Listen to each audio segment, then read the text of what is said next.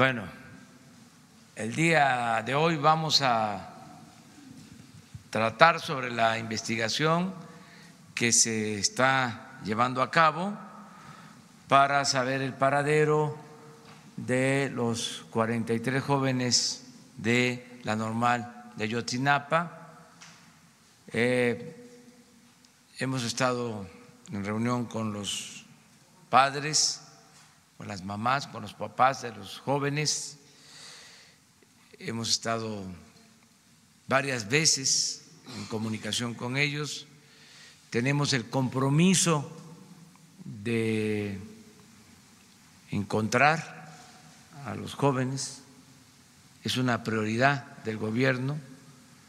Se está haciendo todo lo que se requiere, se necesita, es eh, el gobierno en su conjunto el que está participando, no hay ningún obstáculo, ninguna limitación, em, está participando la Secretaría de la Defensa,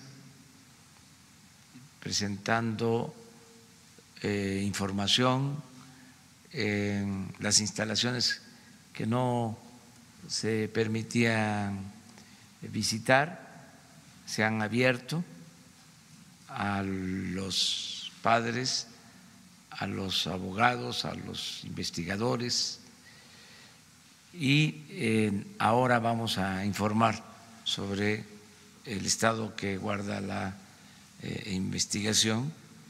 Ofrecí en la última entrevista que sostuvimos con los padres que me iba a poner el día de hoy, o lo mismo Alejandro, esta playera, este, estoy cumpliendo con eso. Ellos me entregaron esta playera y me pidieron que me la pusiera y estoy por eso así. Em, es un asunto fundamental para el gobierno de la República el que podamos esclarecer los hechos, encontrar a los jóvenes desaparecidos y hacer justicia. No eh, hay, repito, ninguna limitante. No eh, hay impunidad para nadie y eh, se está trabajando en colaboración con la Fiscalía General de la República y yo espero que se tengan pronto resultados, porque se están eh, atendiendo eh, las cosas bien, se está trabajando de manera profesional y ahora Alejandro va a informarnos y eh, guardando el respeto por la autonomía de la Fiscalía, eh, se invitó también al fiscal del caso para que nos eh, informe a todos sobre cómo va este proceso de investigación. Entonces vamos a empezar con Alejandro, que él nos informe. Con su autorización, señor presidente. Bueno, hoy, al cumplirse el quinto aniversario de estos lamentables hechos de la noche del 24-25 de septiembre de 2014 en la ciudad de Iguala, vamos a hacer un proceso de rendición de cuentas, no solamente en esta conferencia de prensa. El día de hoy se transmitirá a través del Sistema Público de Radiodifusión del Estado mexicano un documental de los trabajos realizados y una entrevista que, eh, que a lo largo de una hora se los hizo eh, Gerardo Villamil, el titular del sistema. Eh, queremos utilizar los medios públicos de comunicación para este proceso de redención de cuentas. Vamos a presentar primero el promocional este, este video que estará en Radio Educación a las 16 horas, en las estaciones del IMER a las 16 horas, en Canal 22 a las 18.30, en Capital 21 a las 19.30 horas, en Canal 11 de televisión a las 21 horas, y en el canal 14 a las 22 horas. Y agradecemos, por supuesto, la presencia del fiscal de la unidad especializada para el caso de Ayotzinapa, al doctor Omar Gómez Trejo, su presencia, y vamos a dividir la presentación en dos partes. Bueno, veamos primero este promocional.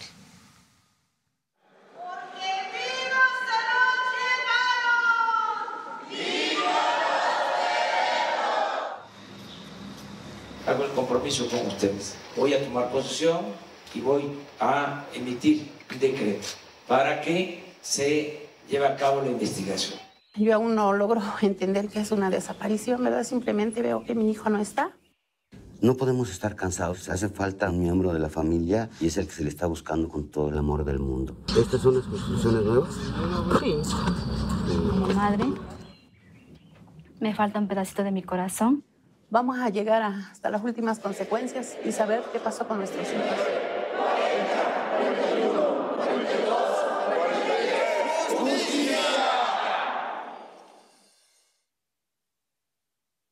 Alrededor de 15 minutos, es una muy apretada síntesis, pero creo que da cuenta puntual particularmente de la muy importante participación de los padres y más de familia dentro de la comisión. Del informe que voy a presentar, quiero señalar desde un principio que hay asuntos que nos vamos a reservar la información que corresponde particularmente a todos los procesos de las diligencias judiciales que están llevando junto con los operativos que ya se han realizado por razones obvias. Entonces, hay que señalar que hacer un poco de memoria que ya desde el proceso de transición, el ciudadano presidente, como presidente electo, sostuvo la primera reunión con los padres y madres de familia el día 26 de septiembre en el Museo de Memoria y Tolerancia de la Ciudad de México, donde se estableció el compromiso para avanzar en la creación de una comisión presidencial por la verdad y la justicia esto nos llevó a que el primer acto público del señor presidente de la República y del gobierno federal aquí en Palacio Nacional fuera el propio 13 de diciembre, donde se creó la fiscal, la, comisión presidencial para el caso de Yotzinapa a través de un decreto presidencial. Esta comisión se instaló el día 15 de enero de 2019 con el objetivo de crear las condiciones materiales, jurídicas y humanas por parte del gobierno federal para que los familiares de las víctimas conozcan la verdad y el paradero de los estudiantes desaparecidos. Este es un esfuerzo que representa un mecanismo extraordinario en el que concurren, además de las instituciones del gobierno federal, en este caso representadas por la Secretaría de Gobernación, la Secretaría de Hacienda y la Secretaría de Relaciones Exteriores, las representaciones de los padres de familia, los propios padres y madres de familia y organismos de cooperación internacional como la Comisión Interamericana de Derechos Humanos y la Oficina del Alta Comisionada de Naciones Unidas para los Derechos Humanos. Uno de los aspectos fundamentales, lo señaló el presidente de la República, es que no solamente estamos abiertos al escrutinio internacional, sino al apoyo, asesoría, al auxilio de distintas agencias internacionales motivo por el cual el día 11 de marzo se firmó el primer compromiso con la Comisión Interamericana de los Derechos Humanos para que, además de recibir el informe que estos presentaron y que formará parte de las líneas, forma parte de las líneas de investigación que estamos desarrollando en la Comisión Presidencial, se integre un grupo de asesoría técnica que sustituya lo que era el GIEI, de hecho es el GIEI eh, este, renovado, el que está suscrito con la Comisión Interamericana de Derechos Humanos. Y lo propio se hizo con la alta comisionada, con Michelle Bachelet, de la Organización de Naciones Unidas, para la coadyuvancia de esta Agencia de Naciones Unidas en las tareas de investigación. Como parte de estos convenios ya se ha creado el grupo de asesoría técnica, donde dos de los anteriores integrantes del GEI, Ángela María Buitrago y Francisco Cox, ya se encuentran incorporados a los trabajos de investigación y en los próximos días, en coordinación con la Oficina de la Alta Comisionada de Derechos Humanos de Naciones Unidas, se hará lo propio con los demás integrantes del GIEI para que sin ninguna restricción y limitación alguna participen en todos los trabajos de investigación y el replanteamiento que se está haciendo de la investigación en el caso de Ayotzinapa. Queremos destacar algunas de las principales reuniones de trabajo que se han sostenido. Una de ellas, el pasado 28 de marzo, con el presidente de la Suprema Corte de Justicia de la Nación, en uno de los temas fundamentales fue el avanzar en el desestimiento de los amparos que la administración anterior, el gobierno federal anterior, interpuso ante la resolución del Tribunal Colegiado de Tamaulipas para la creación de una comisión por la verdad y la justicia. El gobierno federal anterior interpuso más de 200 amparos, de los cuales debo informar que por instrucciones del presidente de la República, todas las dependencias del gobierno federal nos hemos desistido para no poner ninguna eh, limitación, ningún obstáculo legal o jurídico a los trabajos de investigación. Ya dimos cuenta de las reuniones con Esmeralda Rosamela, presidenta de la Comisión Interamericana de Derechos Humanos y relatora para México, en donde el compromiso fue retomar el informe final de la Comisión para avanzar los trabajos de investigación, el caso de Michelle Bachelet. Y quiero destacar esta última reunión con los exfuncionarios del gobierno del Estado de Guerrero. Hemos extendido dos reuniones de trabajo con el exgobernador Ángel Aguirre, con el, procurador del Estado de Guerrero, Iñaki Blanco, y con los ex titulares de la Secretaría de Seguridad Pública y de la Secretaría de Gobierno del Estado de Guerrero en esos momentos, quienes, informo, el próximo día martes y el día miércoles ampliarán sus declaraciones en la Fiscalía General de la República, eh, particularmente en lo referente a la investigación que desarrolló la Fiscalía del Estado durante los seis primeros días de los sucesos, antes de que el gobierno federal, en una actitud omisa, atrajera hasta entonces la investigación y no incorporó los aspectos fundamentales de la investigación de la Fiscalía local a la averiguación previa realizada por la Procuraduría General de la República. El día este, Quiero destacar también las reuniones que se han sostenido con la Fiscalía General de la República. Desde el 7 de febrero de 2019, prácticamente menos de un mes, aún menos de un mes instalada la comisión, en donde el acuerdo fundamental con el fiscal general de la República no fue solamente la creación de la unidad especializada en el caso de Ayotzinapa, sino de compartir todas las líneas de investigación que quedaron inconclusas y, que y las promovidas por la comisión. Uno de los aspectos nodales para el nombramiento del fiscal especializado es que el fiscal general atendería las propuestas que la propia comisión formulara. Eh, debo señalar que hubo distintas propuestas que estuvieron eh, evaluándose y fue hasta el 26 de junio cuando se emite el acuerdo por parte del fiscal general para crear esta unidad especial de investigación y litigación para el caso de Ayotzinapa, que posteriormente eh, llevó al nombramiento el 28 de junio del primer fiscal de esta unidad, el caso de Omar Gómez Trejos, que ha tenido el pleno respaldo del señor fiscal y de los padres y más de familia, así como de toda la comisión presidencial. Y la última reunión que hemos sostenido con el fiscal general y con el fiscal especializado, promovida por el presidente de la República en cumplimiento de un acuerdo con los padres de familia, realizada el 18 de septiembre, donde la conclusión fundamental es avanzar en un replanteamiento integral de la investigación, eh, subsanando las omisiones, las contradicciones, la falta de elementos, la falta de presentación de pruebas de eh, la averiguación que condujo, a la mal llamada verdad histórica, en donde también se irán deslindando las responsabilidades de aquellas autoridades que incurrieron en omisión o en prácticas ilegales que, como se ha acreditado eh, a nivel eh, de la opinión pública e incluso por distintos órdenes de gobierno, en donde se realizaron prácticas de tortura a algunas de las personas detenidas.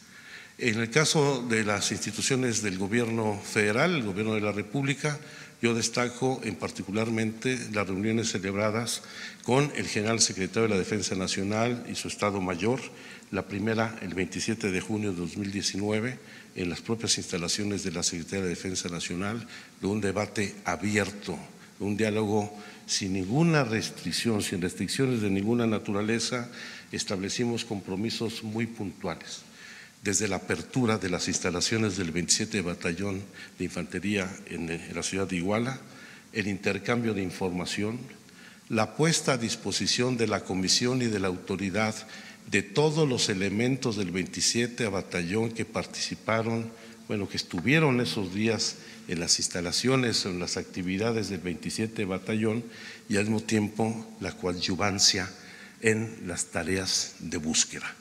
Hasta ahora debo señalar que todos los requerimientos de información que se han presentado a la Secretaría de la Defensa Nacional han sido respondidos, forman parte ya de, la, eh, de las nuevas investigaciones por parte de la unidad especializada y un aspecto muy significativo fue como el, el día 24 de julio los padres, madres de familia y la comisión entramos a hacer un recorrido en las instalaciones del 27 Batallón, donde no hubo limitación alguna para entrar a ninguna de las instalaciones. Desde el arsenal hasta donde estaban guardados los explosivos, los dormitorios, todas las áreas, el centro de fusión de inteligencia, en donde eh, hubo sin lugar a dudas, eh, les despejaron muchas de las dudas. Nos queda pendiente solamente, lo vieron ustedes ahí en el documental, acreditar cuál es la instalación de la cancha deportiva que estaba previa a la instalación del Centro de Fusión de Inteligencia y Información en esta zona.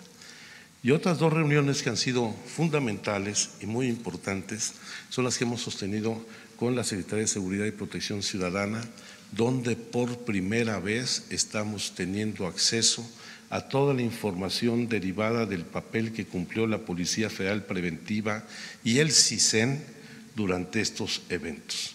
Porque a pesar de que hubo investigaciones internas que definieron responsabilidades para algunos de los policías federales preventivos y que fueron consignados ante la Procuraduría, estos no fueron incorporados a la averiguación previa, a pesar de que hubo acusaciones de vínculos de algunos mandos con la delincuencia organizada que formaban parte de la nómina, se ocultó la información y se ocultó información tan importante como son las bitácoras del Grupo de Coordinación Guerrero que articulaba todas las instituciones de seguridad federales y locales en el estado de Guerrero durante esos, días y que ahora forman parte ya de los documentos que han sido integrados, entregados a la Fiscalía Especial. Debo destacar la creación de un comité científico asesor de la Comisión Presidencial, encabezado principalmente por el Centro Geo de CONACYT, en donde hemos hecho un trabajo que fue abandonado. Son de las tareas que no se realizaron en las tareas de investigación, en donde empezamos por integrar todo el levantamiento de información celebrado por la Fiscalía Especial de Ayotzinapa de la PGR, la Fiscalía de Desaparición Forzada de la PGR, la Unidad Antisecuestro del Aceido y la información de la Fiscalía del Estado, donde no solamente hemos realizado actividades de búsqueda complementaria, sino se han identificado diversas, un buen número, más de 200 fosas clandestinas, en donde se han encontrado 184 cuerpos de los cuales 44 han sido identificados, ninguno, y lo subrayo, ninguno de los cuales correspondiente a ninguno de los muchachos desaparecidos. Un trabajo fundamental que debe haberse desarrollado desde un inicio es el análisis de todas las redes de telefonía, las llamadas telefónicas que se celebraron en toda esta región, no solamente los días de los hechos, sino los días posteriores, porque se han identificado, también es del dominio público, no estoy diciendo aquí ninguna infidencia, el uso de los teléfonos celulares de los muchachos en días posteriores a los actos de Iguala y a la desaparición. Este grupo científico ha hecho el análisis de 80 millones de registros llamadas, de llamadas celebradas durante cuatro años, de las cuales se identificaron 206 mil llamadas de interés, que permitió construir una red primaria de 84 mil líneas prioritarias y de 116 números telefónicos, y nos ha permitido no solamente identificar las olas críticas, sino el seguimiento minuto a minuto de esta operación. No puedo dar los detalles, pero sí tenemos certeza de cómo se realizó el operativo por los grupos delictivos una de las primeras conclusiones, para dar una de ellas, es que en ningún momento hubo contacto por parte de ningún estudiante con algún grupo delictivo o con alguno de esos integrantes, por decirlo de una manera, y una segunda en donde la operación fundamentalmente se dio en el municipio de Iguala y en su zona suburbana. No voy a decir más.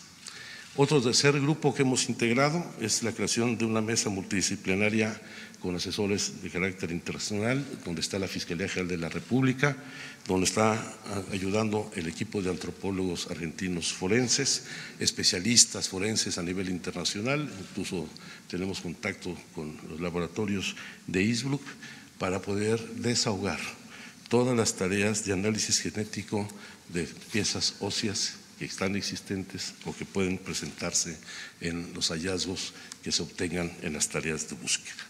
Y de manera muy concreta señalar los operativos que se han venido desarrollando en estos meses. Debo señalar que de manera puntual se han desarrollado ocho, ocho operativos a lo largo de 48 días de búsqueda en cinco municipios en particular, en Cocula, Iguala, Huitzuco, Mezcala y Tepepacu- Tepepacuilco, como es de su conocimiento. Estos son los puntos, no vienen totalmente desarrollados, aunque debo advertir que no ha habido ningún positivo, un hallazgo positivo, ni en el segundo vado de Cocula, ni en las casas de seguridad que eh, ve- investigamos en Iguala, ni en el predio de La Parota o en Pozos de Iguala, con la información que nos proporcionaron desde la ciudad de Amarillo, en el estado de Texas. Hemos revisado junto con la Fiscalía General y el equipo de antropología argentina forense eh, 180 puntos específicos en distintas regiones. El caso, este sí fue del dominio público, de un cateo que se hizo en una colonia de Iguala, en la Juan N. Álvarez, en particular un operativo muy importante en el municipio de Mezcala y el ejido de Carrizalillo, el de Huitzuco que está en proceso y el operativo que en estos momentos también es del dominio público, estamos llevando a cabo en Tepecuacuilco. Debo señalar que se han revisado más de 120 puntos de búsqueda y en ninguno de ellos hemos encontrado algún positivo. Y solamente haciendo una referencia de que estamos haciendo el seguimiento de cuatro diligencias judiciales en particular contra exfuncionarios o gente vinculada con los hechos delictivos de ese día. Pongo solamente para su conocimiento el operativo que iniciamos la semana pasada, prácticamente inició el viernes, pero el domingo, en coordinación con la Fiscalía General de la República, con un apoyo muy importante logístico, de seguridad, de la Secretaría de la Defensa Nacional y la Comisión Presidencial, estamos realizando en este basurero del municipio de Tepecuaculco. Quiero terminar haciendo un anuncio, eh, en particular retomando algunos de los aspectos que a nuestro juicio son muy importantes para avanzar en la investigación.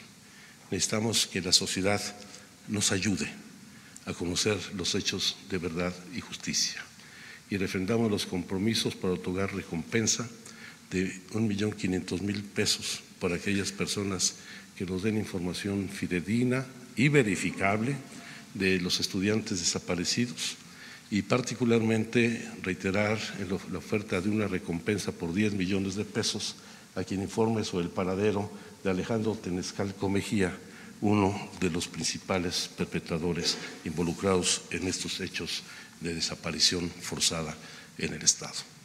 Es lo que queremos informar el día de hoy, lo haremos como nos ha instruido el señor presidente de manera regular. Eh, se ha comprometido a tener reuniones regulares con los padres de familia, la próxima en el mes, primeros días del mes de diciembre, pero esperemos que en los informes vayamos dando ya resultados muchos más puntuales. Le pediría al señor fiscal Omar Gómez, por favor, haga uso de la palabra.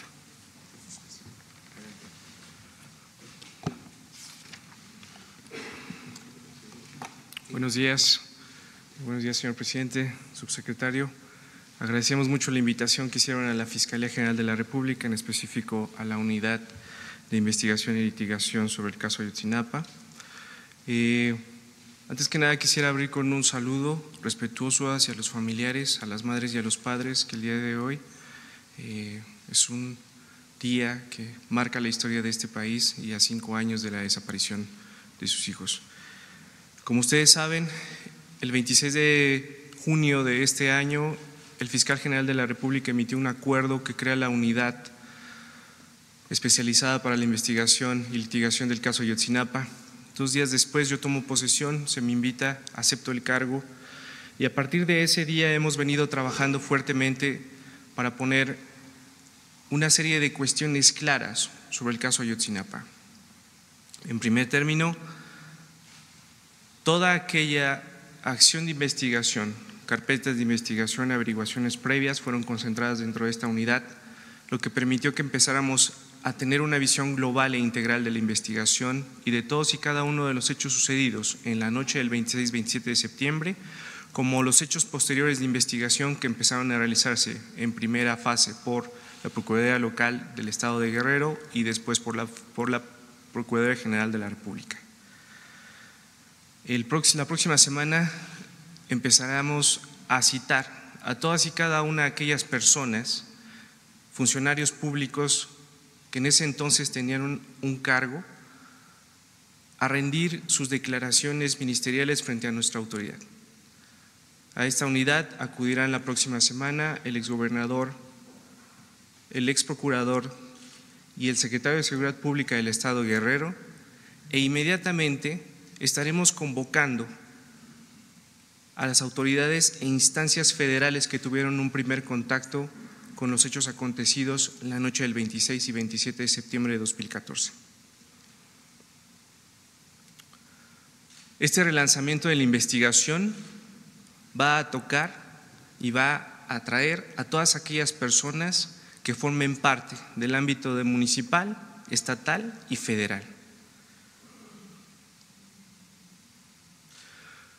Como lo ha señalado el subsecretario Encinas, hemos participado e incluso hemos hecho en estos tres meses en los que yo estoy a cargo de esta unidad nueve procesos de búsqueda, acciones de investigación con la finalidad de encontrar y localizar el paradero de los estudiantes. Actualmente se encuentra realizándose esta diligencia ministerial en el municipio de Tepecuacuilco e inmediatamente se tenga algún resultado se informará a la sociedad. Vamos a empezar por la primera línea que tuvo contacto con este caso. Desde la Fiscalía no vamos a encubrir o vamos a generar e investigar todas aquellas complicidades que se dieron en el mismo.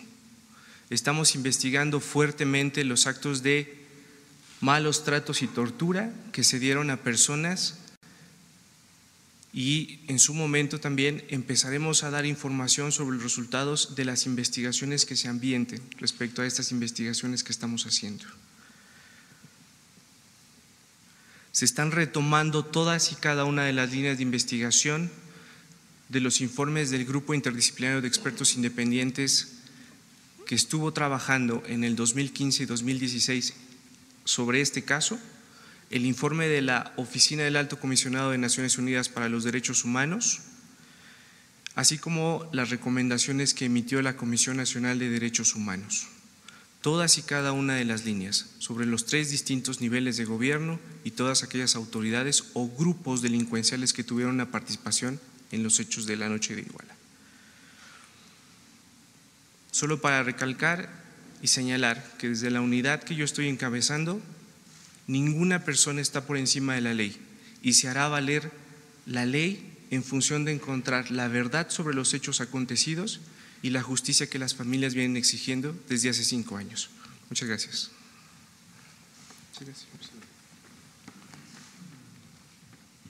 Bueno, pues este, este es el, el tema de hoy. Eh, abrimos para preguntas. Buenos días. Buenos días, Montserrat Sánchez de Reporte Índigo. Preguntarles si ya tienen confirmado y cómo lo hicieron que los jóvenes nunca salieron de Guerrero y si con esta nueva búsqueda en el basurero de Tepecuacuilco ya se descarta otra búsqueda en el basurero de Cocula donde sí se había dicho que habían encontrado restos de al menos uno de los normalistas. Gracias. Bueno, todas las pruebas que hemos recaudado eh, dan indicios claros de que no hubo ninguna, ninguno estudiante salió de la entidad. Por supuesto, no descartamos ninguna otra línea de investigación, incluida el asunto de Cocula, que por supuesto para nosotros es muy importante cerrar este caso y este debate, que es la parte medular de la llamada eh, verdad histórica, aunque como lo he dicho desde un principio, estamos convencidos que en el caso eh, de estos muchachos de Ayotzinapa, la única verdad es que no hay hasta ahora verdad alguna.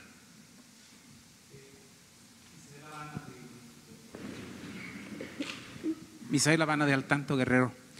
Ayer en Guerrero eh, se dio a conocer una información de una entrevista que se le hizo a un líder de la CRAC que está en prisión y donde envía un documento a la presidencia de la República y dice que él tiene información importante sobre el lugar donde se encuentran los cuerpos de los 43, que esta información ya la conoce usted, que incluso pide seguridad eh, para él y para su familia y para tres presuntos implicados en la desaparición y muerte de los estudiantes.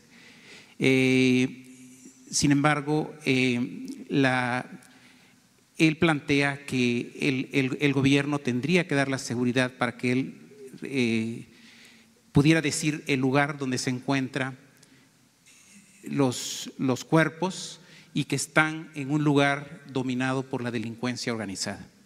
Por supuesto que con la información hemos mantenido relación no solamente con esta persona, que no es el principal informante, Hemos tenido relación con el informante, tenemos ubicado el sitio, tenemos no dudas definido un operativo en una zona de muy alto riesgo, pero por supuesto que nosotros tenemos que ceñirnos a los procedimientos legales y por eso habrá una diligencia judicial realizada especialmente por la unidad especializada en el caso de Ayotzinapa. Y en su oportunidad se realizará este operativo dando por supuesto las condiciones de seguridad a todas las personas. gracias. el caso Ayotzinapa como lesa humanidad. Los autores de él deberían ser entregados y también para el fiscal a la Corte Penal de Justicia. Ese es un tema que es recurrente, entre ellos los abarca si fuera el caso. Y para el señor presidente, de acuerdo con el Centro de Documentación de Movimientos Armados con sede en España, hay 40 grupos armados en la República Mexicana, 10 de ellos operan en Guerrero. Si no hay una solución expedita a este caso, habría posibilidad de que nuevos Lucios Cabañas, que también son egresados de Ayotzinapa, emergieran en el país. Sobre el caso de los delitos de lesa humanidad, lo más importante de ello es que serían delitos de carácter imprescriptible. Pero nosotros estamos convencidos de que debe juzgarlos la justicia mexicana. Aquí tienen que rendir cuentas y por supuesto que vamos a avanzar en, esa dirección. Pero ¿qué hay del Estatuto de Roma que plantea que hay una base jurídica para hay base jurídica para ello. Sin embargo, el proceso de sentencia por parte de la Corte lleva muchísimo tiempo. Queremos que sean juzgados en nuestro país. Eh, señor fiscal, con relación al encuentro entre Ángel Aguirre Rivero, el exgobernador guerrerense, y los 43, los padres de los 43 estudiantes de Ayotzinapa, ¿a usted podría persuadirlo a creer más en la versión del gobernador Aguirre Rivero y su procurador que la de Murillo Karam y el expresidente de México en ese caso específico? Como le he señalado, todas las autoridades que en su momento tuvieron conocimiento y tenían una función en los días de los hechos serán llamados a rendir cuentas. En su momento la investigación, bajo los, bajo los propios objetivos por los que se rige una investigación, pues es que vamos a dar cumplimiento y vamos a tomar todas y cada una de los indicios, de las pruebas que salgan de las declaraciones, más informaciones adicionales que se obtengan dentro de la averiguación previa y las carpetas de investigación, en su momento se determinará si son o no responsables frente a la justicia.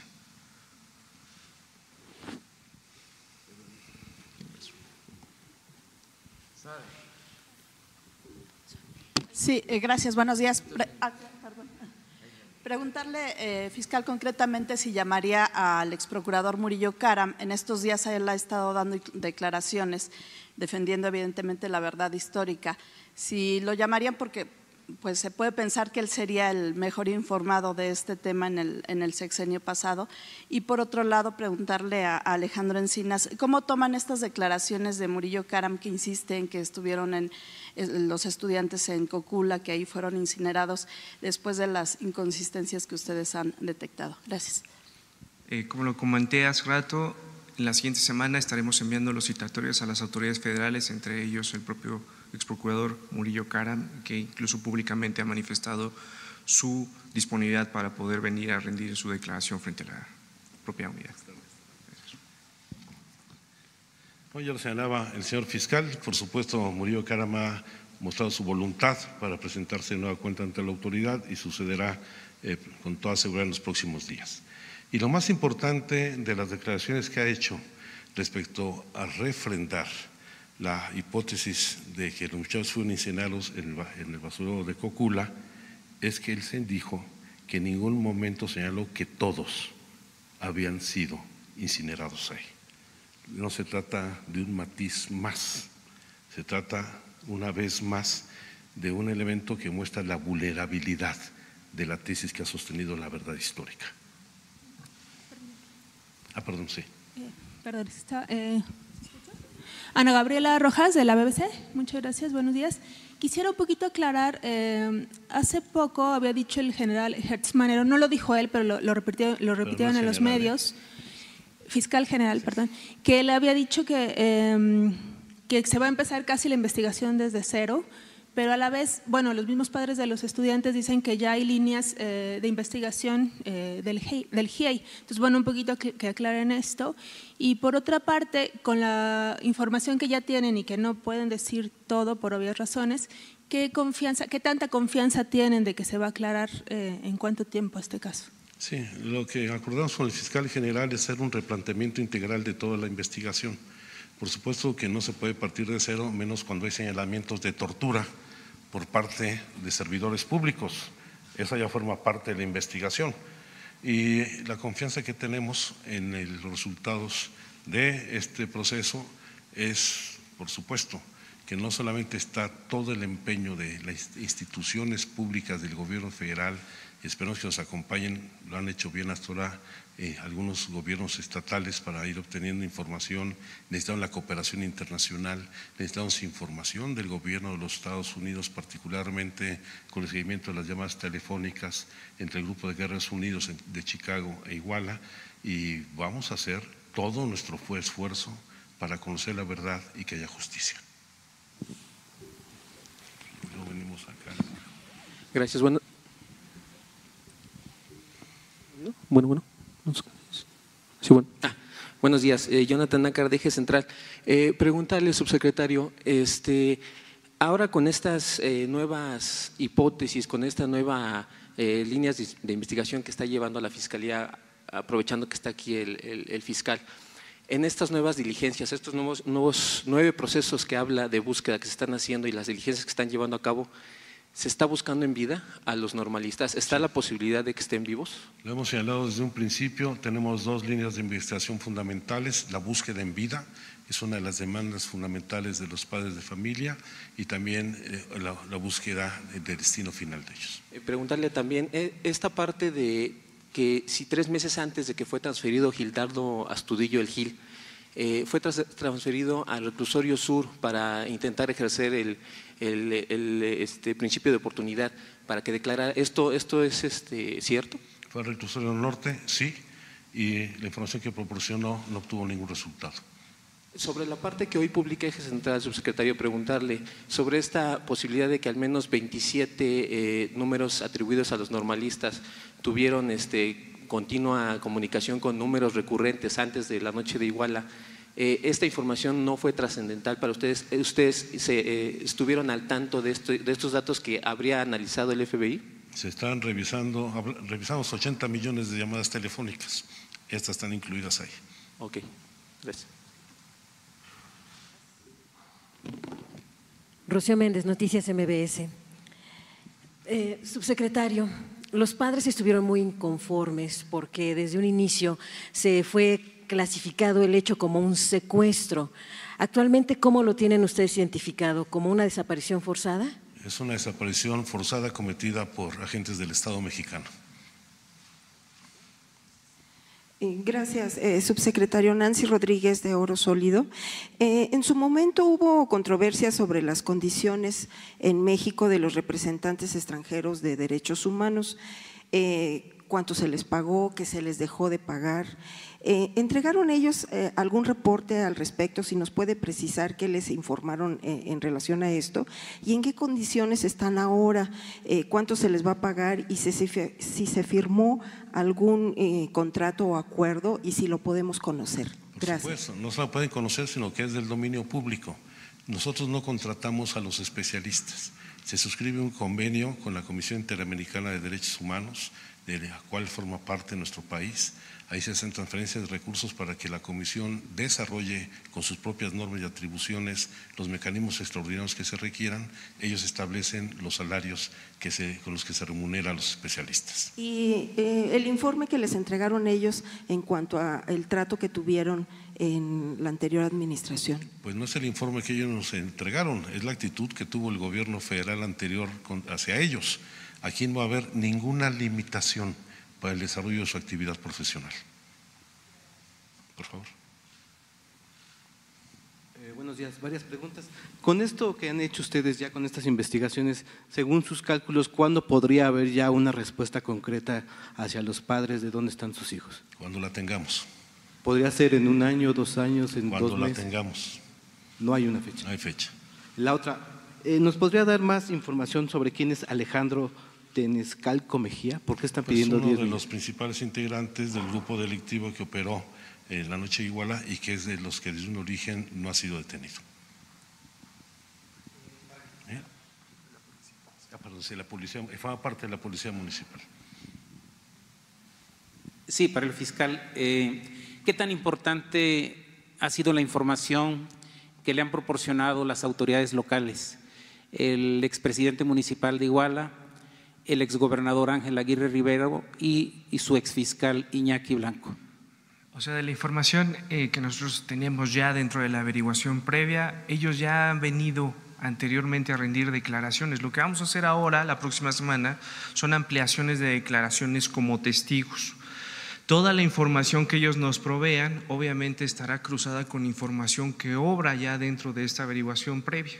Entonces ahí es donde nosotros Parte del trabajo de la Fiscalía pues es hacer eso, analizar toda la información para tener en su momento declaraciones mucho más completas, mucho más claras sobre el desarrollo y el desempeño que tuvieron ellos como funcionarios públicos en esos días.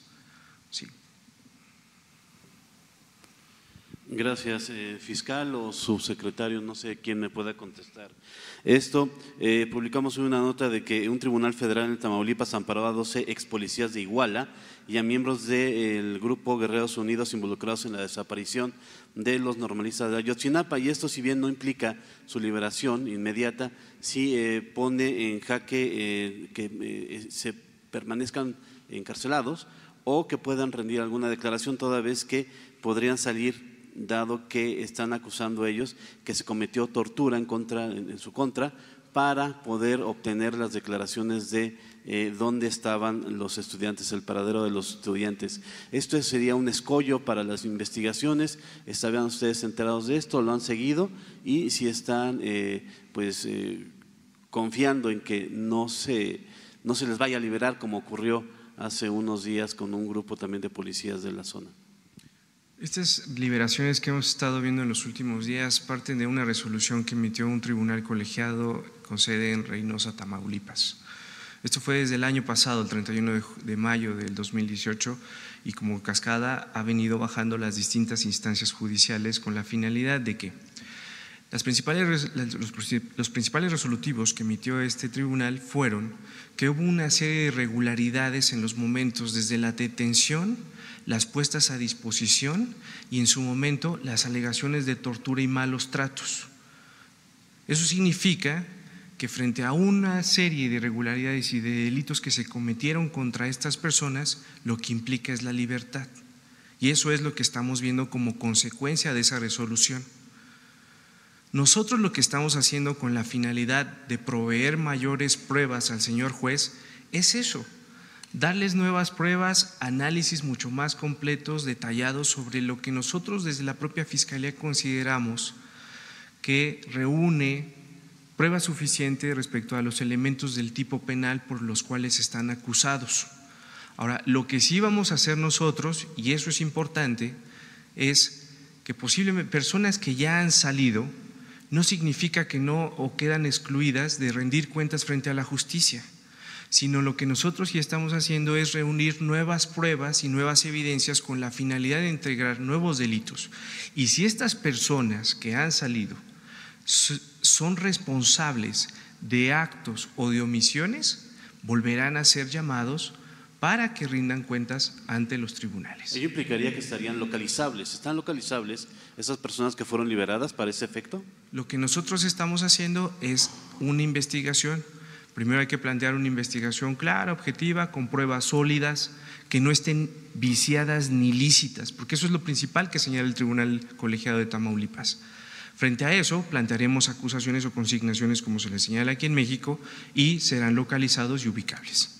Eh, última, eh, fiscal, eh, a partir de la próxima semana se comenzarán a llamar a exfuncionarios. Ya nos comentó que el ex procurador Murillo Caram está dispuesto a acudir un poco más arriba.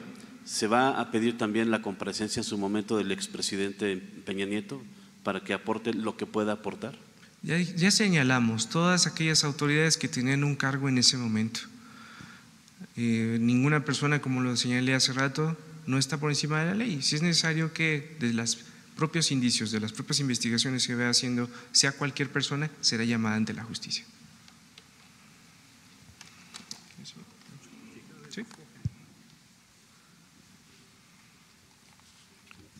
Buenos días, eh, Eduardo Esquivel, Ancona de Grupo SDP, Análisis Económico.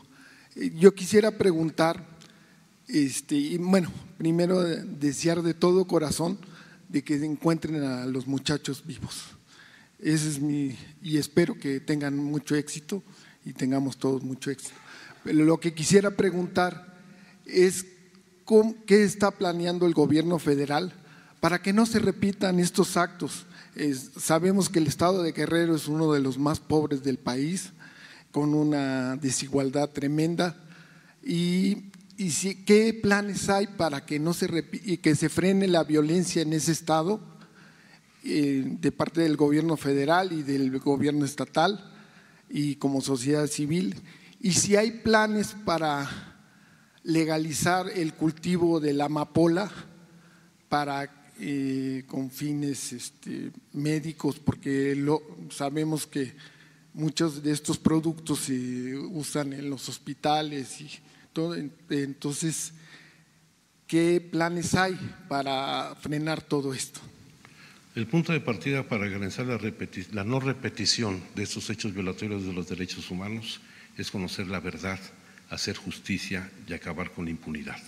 El caso de los 43 muchachos de Ayotzinapa es un caso paradigmático que puede marcar un antes y un después, no solamente en el régimen político mexicano, sino en la construcción de un estado de libertades en nuestro país.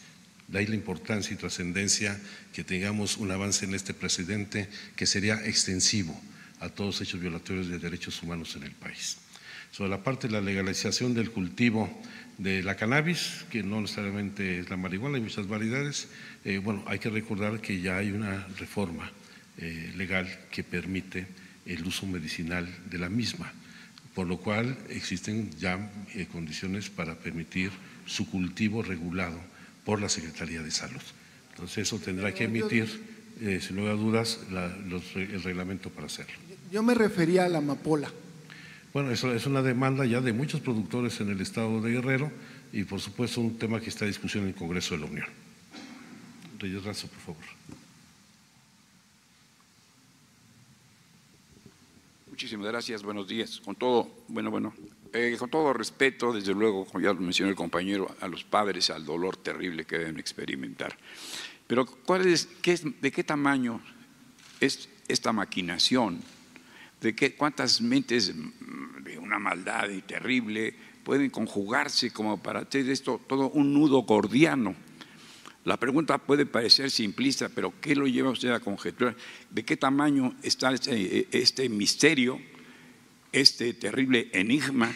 ¿Y qué podemos esperar? También se plantea aquí ya eh, frente a una comisión como la Warren que se creó para esclarecer el asesinato del presidente Kennedy en el año 63.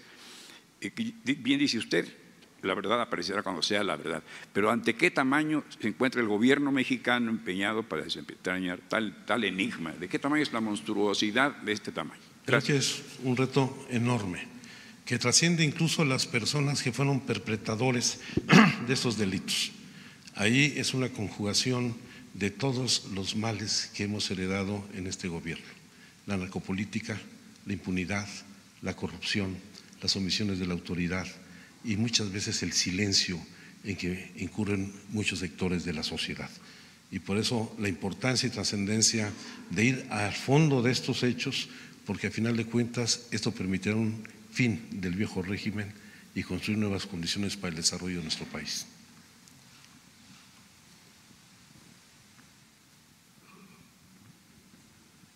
Buenos días. Mi nombre es Mario Alberto Segura, este, del portal El Sol del Sur Tampico.com de Tamaulipas. Eh, pues me siento muy solidario con el caso de los jóvenes de Ayotzinapa, pero yo quiero decirles esta mañana que no vengo en representación del gobernador de Tamaulipas, yo vengo como, periodista, como ciudadano tamaulipeco, y entonces traigo muchas inquietudes de la gente, soy de alguna, alguna forma este, vocero de los tamaulipecos, y bueno, preguntarles ahí está el caso especial, ¿verdad? Este, de los de Ayotzinapa, pero en Tamaulipas tenemos miles de desaparecidos. ¿Qué pasa con esta situación de Tamaulipas?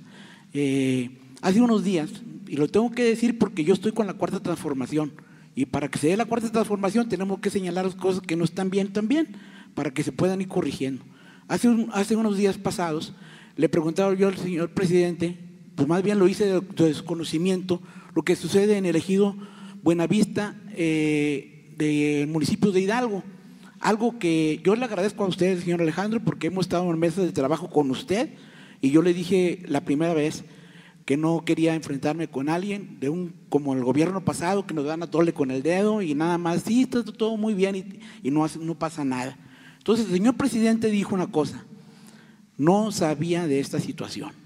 Y yo me pregunto, ¿por qué el señor presidente no sabía si a usted, no solamente a usted, al fiscal de Tamaulipas también, ante varias autoridades hemos tocado la puerta y les hemos dicho qué estaba pasando ahí desde hace varios meses atrás.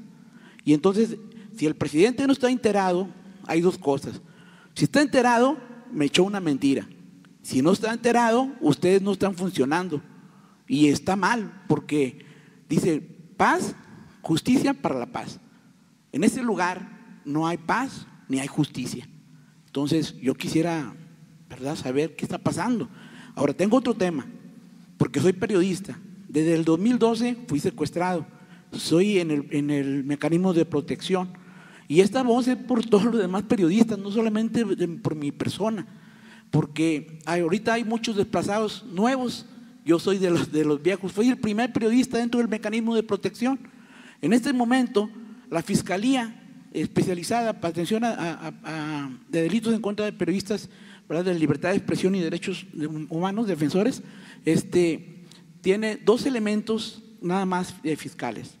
Mi, caso no avanza desde el 2012 a la fecha, no han, eh, tengo un ministerio público que no ha acabado de hace cinco meses de leer mi expediente. Y así como esos, están todos los casos. Si no se resuelve el mío, que fue el primero en el 2012, ¿se imagina usted, señor presidente, cómo se van a resolver los actuales? Nos dicen eh, los fiscales, porque no vamos en contra de ellos, sino porque ellos tienen mucha carga de trabajo. Entonces son dos puntos que me gustaría, ¿verdad?, que me dijeran qué se va a hacer, porque ahorita el día 2 de octubre vamos a tener una reunión con el fiscal Estamos pidiendo la cabeza de él porque nos dicen que él, es el que no ordena que se hagan las investigaciones. No han podido ir a Tamaulipas porque no les dan permiso, tienen miedo. Y en caso mío, pues yo vivo en Tamaulipas, todos los tamaulipecos tenemos miedo de estar allá. Entonces sí me gustaría, por favor, que me contestaran las preguntas. Con mucho gusto. La es que estas preguntas me gustan porque buscan, conteste lo que contesta, hacerte quedar mal. Pero no hay dos preguntas, hay una tercera. Y esto parte de las reuniones que hemos tenido contigo, no solamente con otros compañeros de Tamaulipas, sino incluso con las personas afectadas en el ejido y en el municipio con quienes mantenemos contacto permanente y con, con quienes por instrucciones del presidente de la República estamos haciendo el seguimiento puntual, como lo mostró el planteamiento del presidente de la República durante su pasada gira en el estado de Tamaulipas. Estamos muy cerca. Y en el caso del mecanismo, por supuesto, estamos en el rediseño. Ya se hicieron algunos anuncios ayer entre la Junta de Gobierno que entrarán en función el próximo día primero de octubre eh, por fases. Y lo referente al fiscal, ahí sí le toca al fiscal general de la República dar sus planteamientos respecto a la relación que tiene con las fiscalías de los estados. Sí. Buenos días, presidente Rafael Herrera, corresponsal de Sin Censura, subsecretario, fiscal especial. Habla de Chicago. ¿Hay implicados allá en Chicago? Este, ¿Hay más implicados? ¿Ya tiene ubicados a todos los presuntos responsables y hay una investigación allá en curso? Acaba de decir don Alejandro que se trata de, de una desaparición forzada por el Estado mexicano. Eh, eh, ¿Qué información tiene allá en Estados Unidos o qué información se está cruzando y a qué niveles se está dando esta información? Muchas gracias. Bueno, es del dominio público que hay un proceso abierto contra elementos de Guerreros Unidos en los Estados Unidos y que en estos momentos está entrando en una fase de redefinición. Hubo una nota periodística la semana pasada que da cuenta encabezaban diciendo que se tambaleaba el proceso judicial sobre Guerreros Unidos en Estados Unidos. No es así. Lo que está sucediendo es que están participando como testigos protegidos en este caso y es lo que va a implicar el replanteamiento del papel del proceso que se le sigue en ese país. Muchas gracias. Muy bien. Pues yo quiero refrendar nuestra, el compromiso del gobierno de la República con los padres y las madres de Ayotzinapa, Ayotzinapa con la comunidad normalista de la Escuela Isidro Burgos y como nos ha encomendado el presidente de la República, no vamos a cejar en nuestro esfuerzo por conocer la verdad y la justicia. Muchas gracias. Bueno, eh, como epílogo de esta comparecencia, de este informe, eh, decir que hay voluntad del gobierno de la República para esclarecer estos hechos, conocer la verdad, encontrar a los jóvenes y que haya justicia. Tenemos una gran ventaja no eh, hay impunidad. Eso es importantísimo,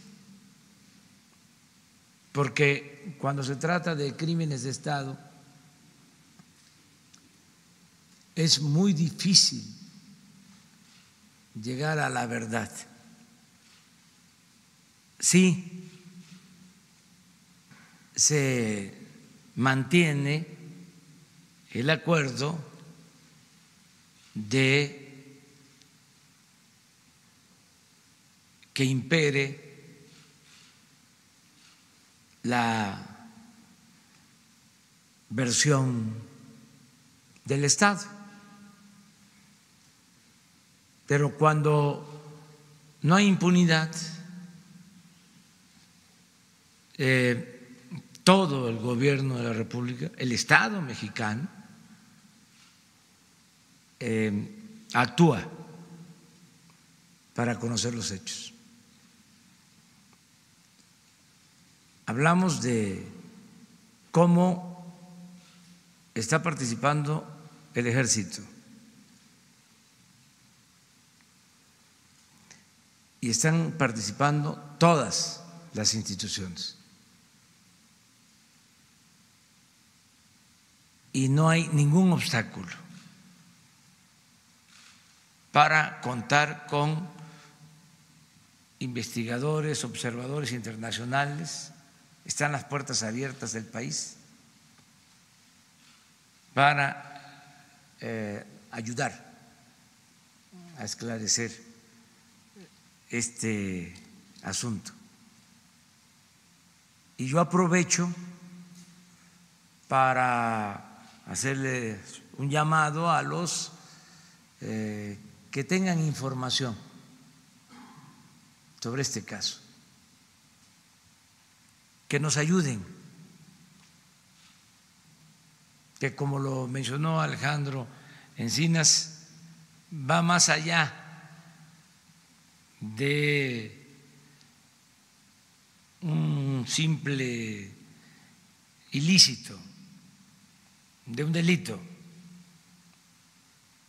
Es un asunto fundamental para la justicia, para el respeto a los derechos humanos, para el fortalecimiento de las instituciones del Estado mexicano. Sería una gran contribución el que se ayude a saber el paradero de los jóvenes. Quienes sepan algo, no solo tendrán esta recompensa en lo material, será un servicio de primer orden al país, a México. Y eh, nuestro compromiso de proteger a quienes informen, recompensarlos, protegerlos y si se requiere ayudarlos.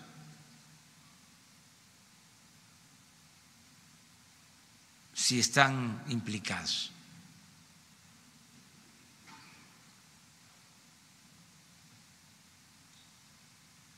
Yo sostengo que sin perdón es em, más difícil hacer realidad la justicia.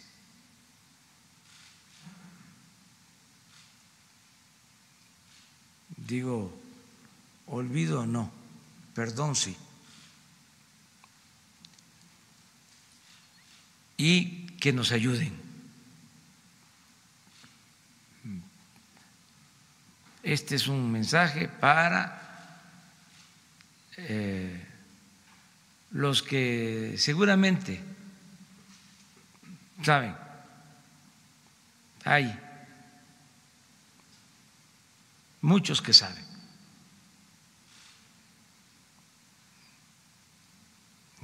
Y por eso tengo confianza de que vamos a conocer la verdad.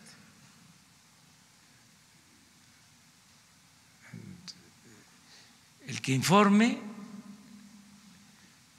tiene toda la protección del Estado, toda la protección del Estado, todo el apoyo del gobierno. Por eso no pierdo las esperanzas estoy optimista. Creo que vamos a darles eh, buenas noticias a los familiares. No lo descarto. No me doy por vencido. Al contrario, creo que vamos a lograr llegar a la verdad. Porque insisto, si no hay protección, si no hay complicidad, si no hay contubernio de las autoridades con quienes participaron en estos hechos, se tiene que saber.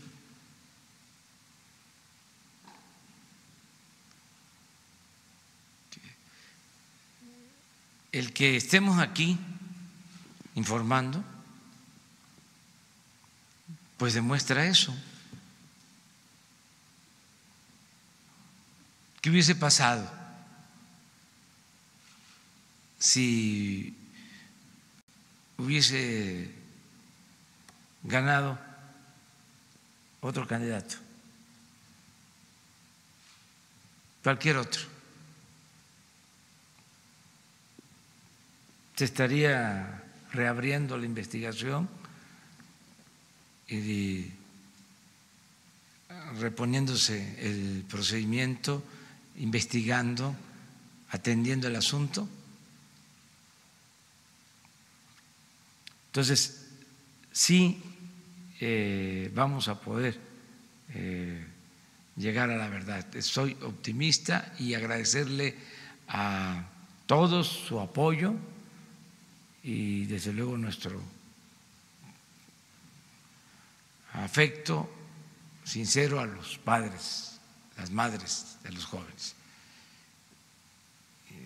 No hay eh, limitaciones ni materiales, es decir, no faltan recursos, está dada la instrucción de que participe todo el gobierno con todos los recursos que sean necesarios. Eh, Alejandro está contando con todo el apoyo que se requiere y felicitar a quienes están trabajando en el esclarecimiento de estos hechos, agradecerle mucho a la Fiscalía General eh, que está eh, trabajando, le tenemos confianza a la Fiscalía General, a la Fiscalía Especial del caso Ayotzinapa y yo tengo el compromiso con las madres, con los padres de estarnos reuniendo eh, periódicamente. Cada dos, tres meses voy a tener reunión aquí con ellos para evaluar, para estar evaluando. Y no quiero que sean este, reuniones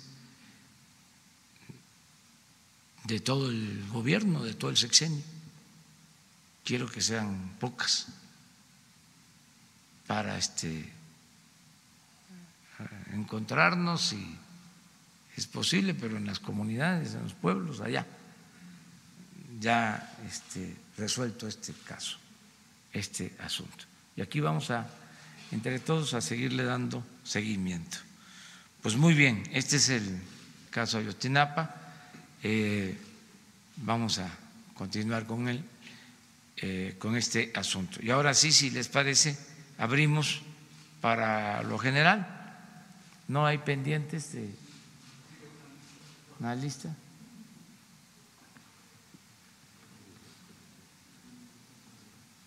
¿Por qué no se sientan y acompañan? Es que yo ya me acostumbré.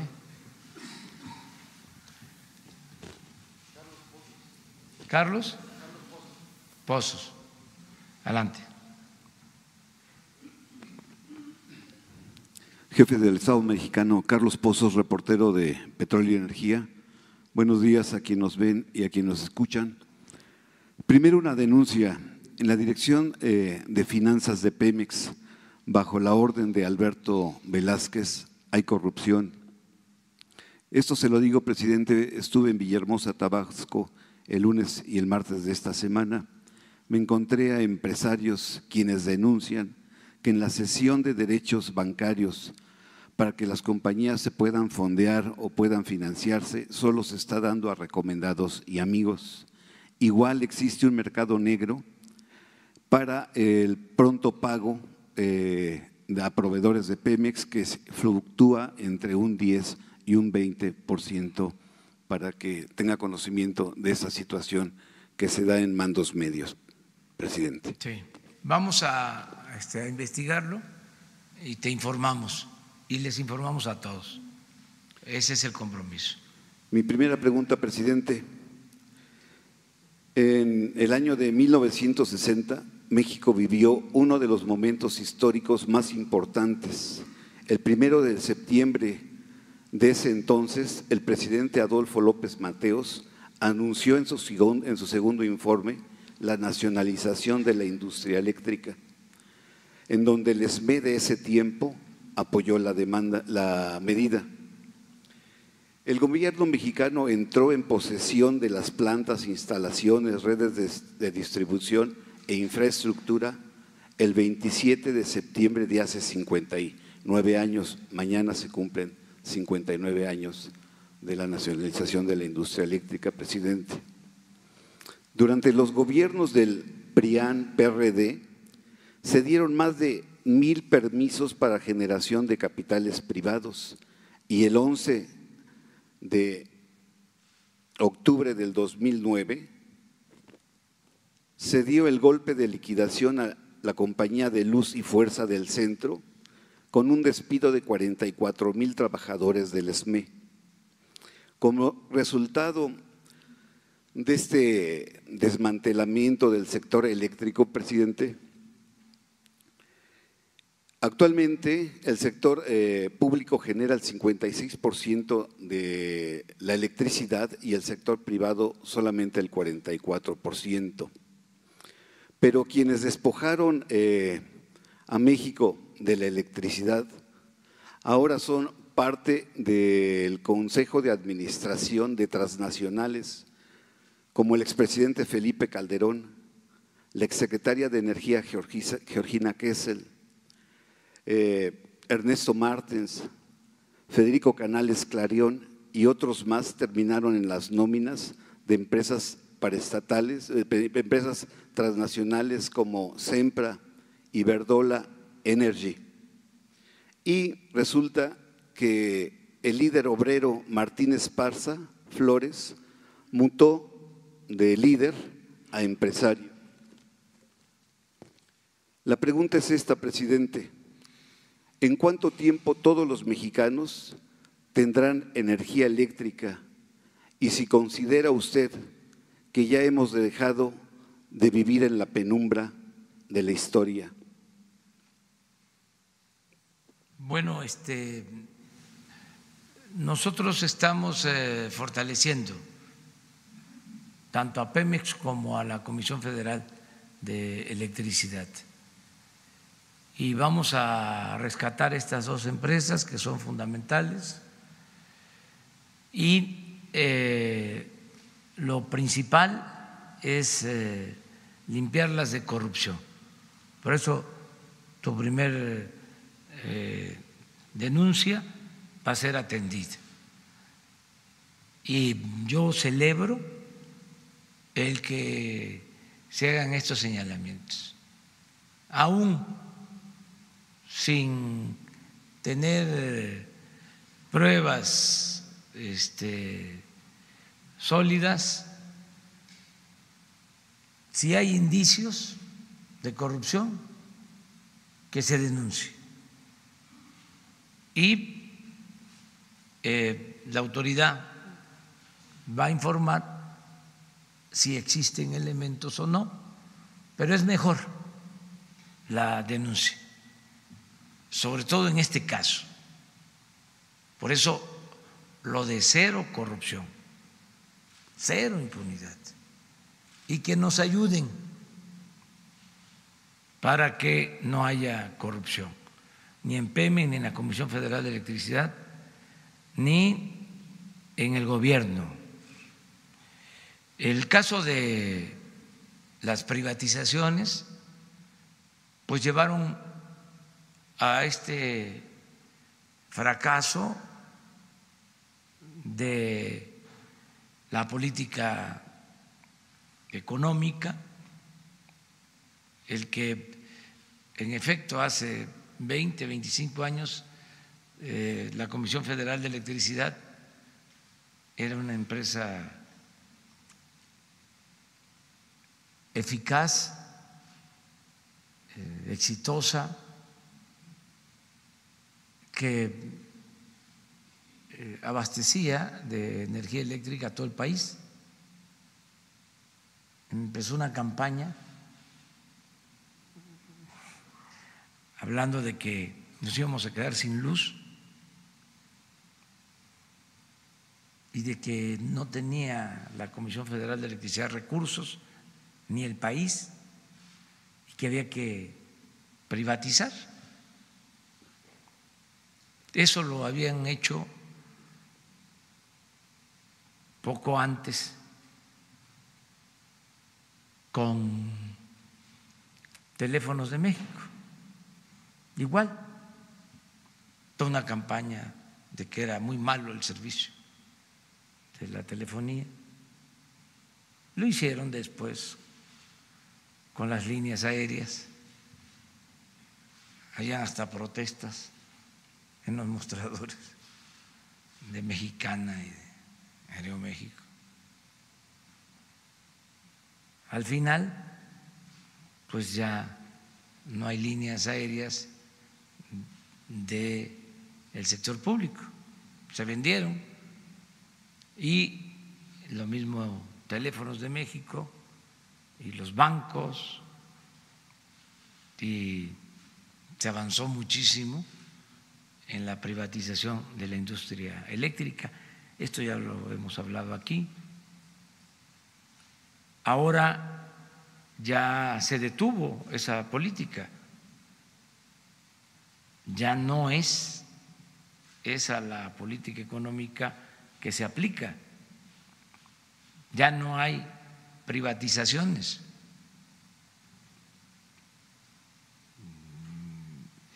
Estamos respetando los contratos que se suscribieron con anterioridad porque queremos actuar de manera responsable, pero ya no van a seguir entregándose contratos y concesiones de bienes públicos.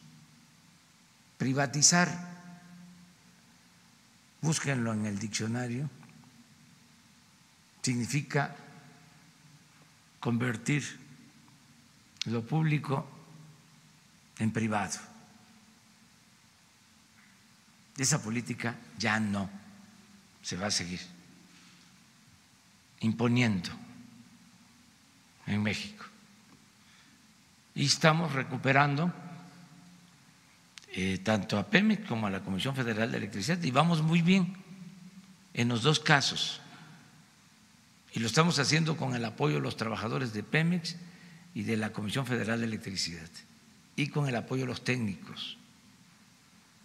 Por ejemplo, en el caso de la Comisión Federal de Electricidad, hemos incrementado la generación, aquí lo vino a explicar el ingeniero Morales Mar, solo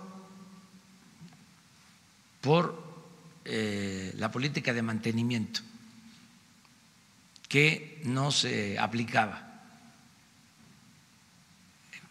El propósito era ir eh, cerrando las plantas de la Comisión Federal de Electricidad para que avanzara cada vez más en el control del mercado la industria privada las empresas privadas.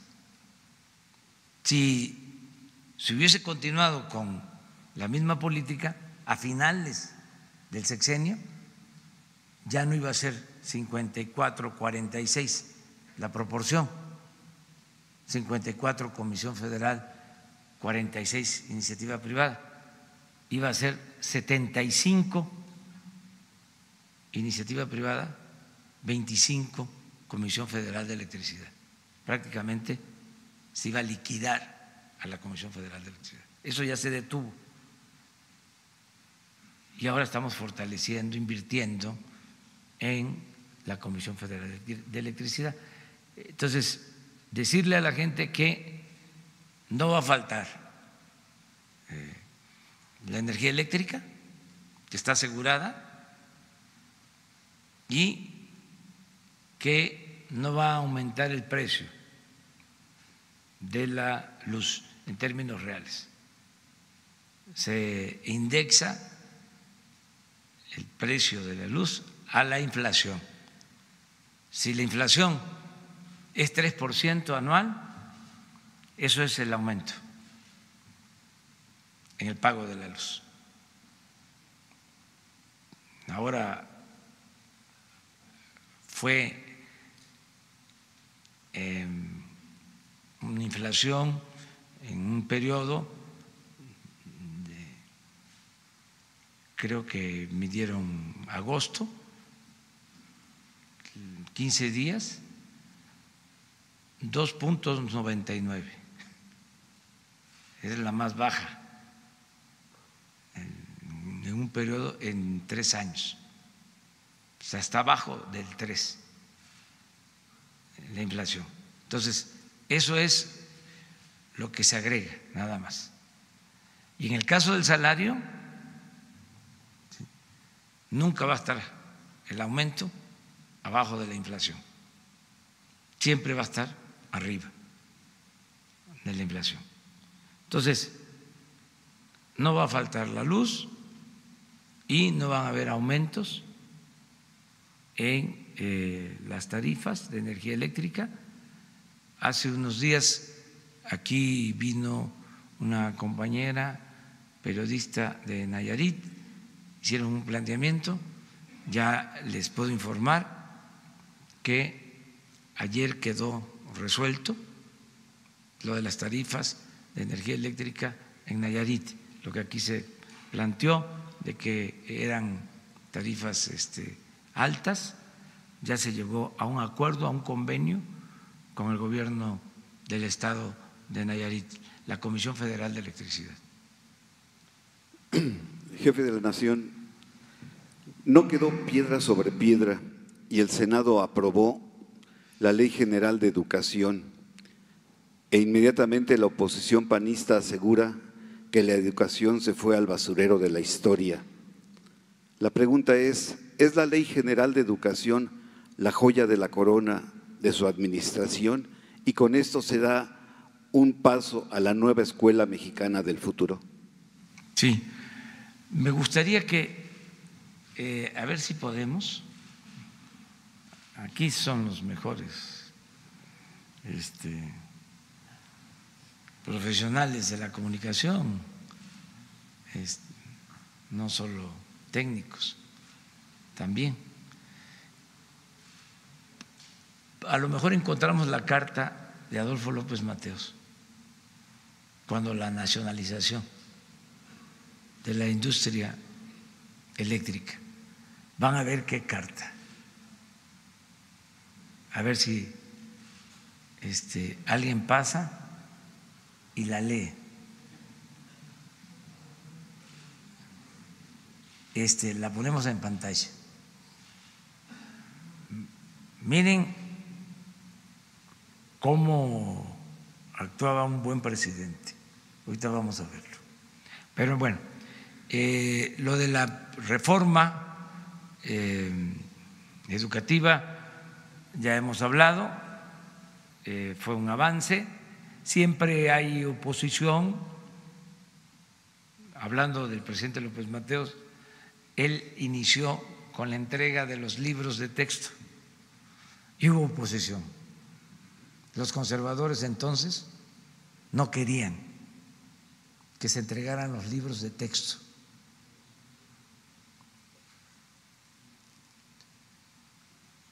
Y se logró establecer la entrega de libros de texto gratuitos.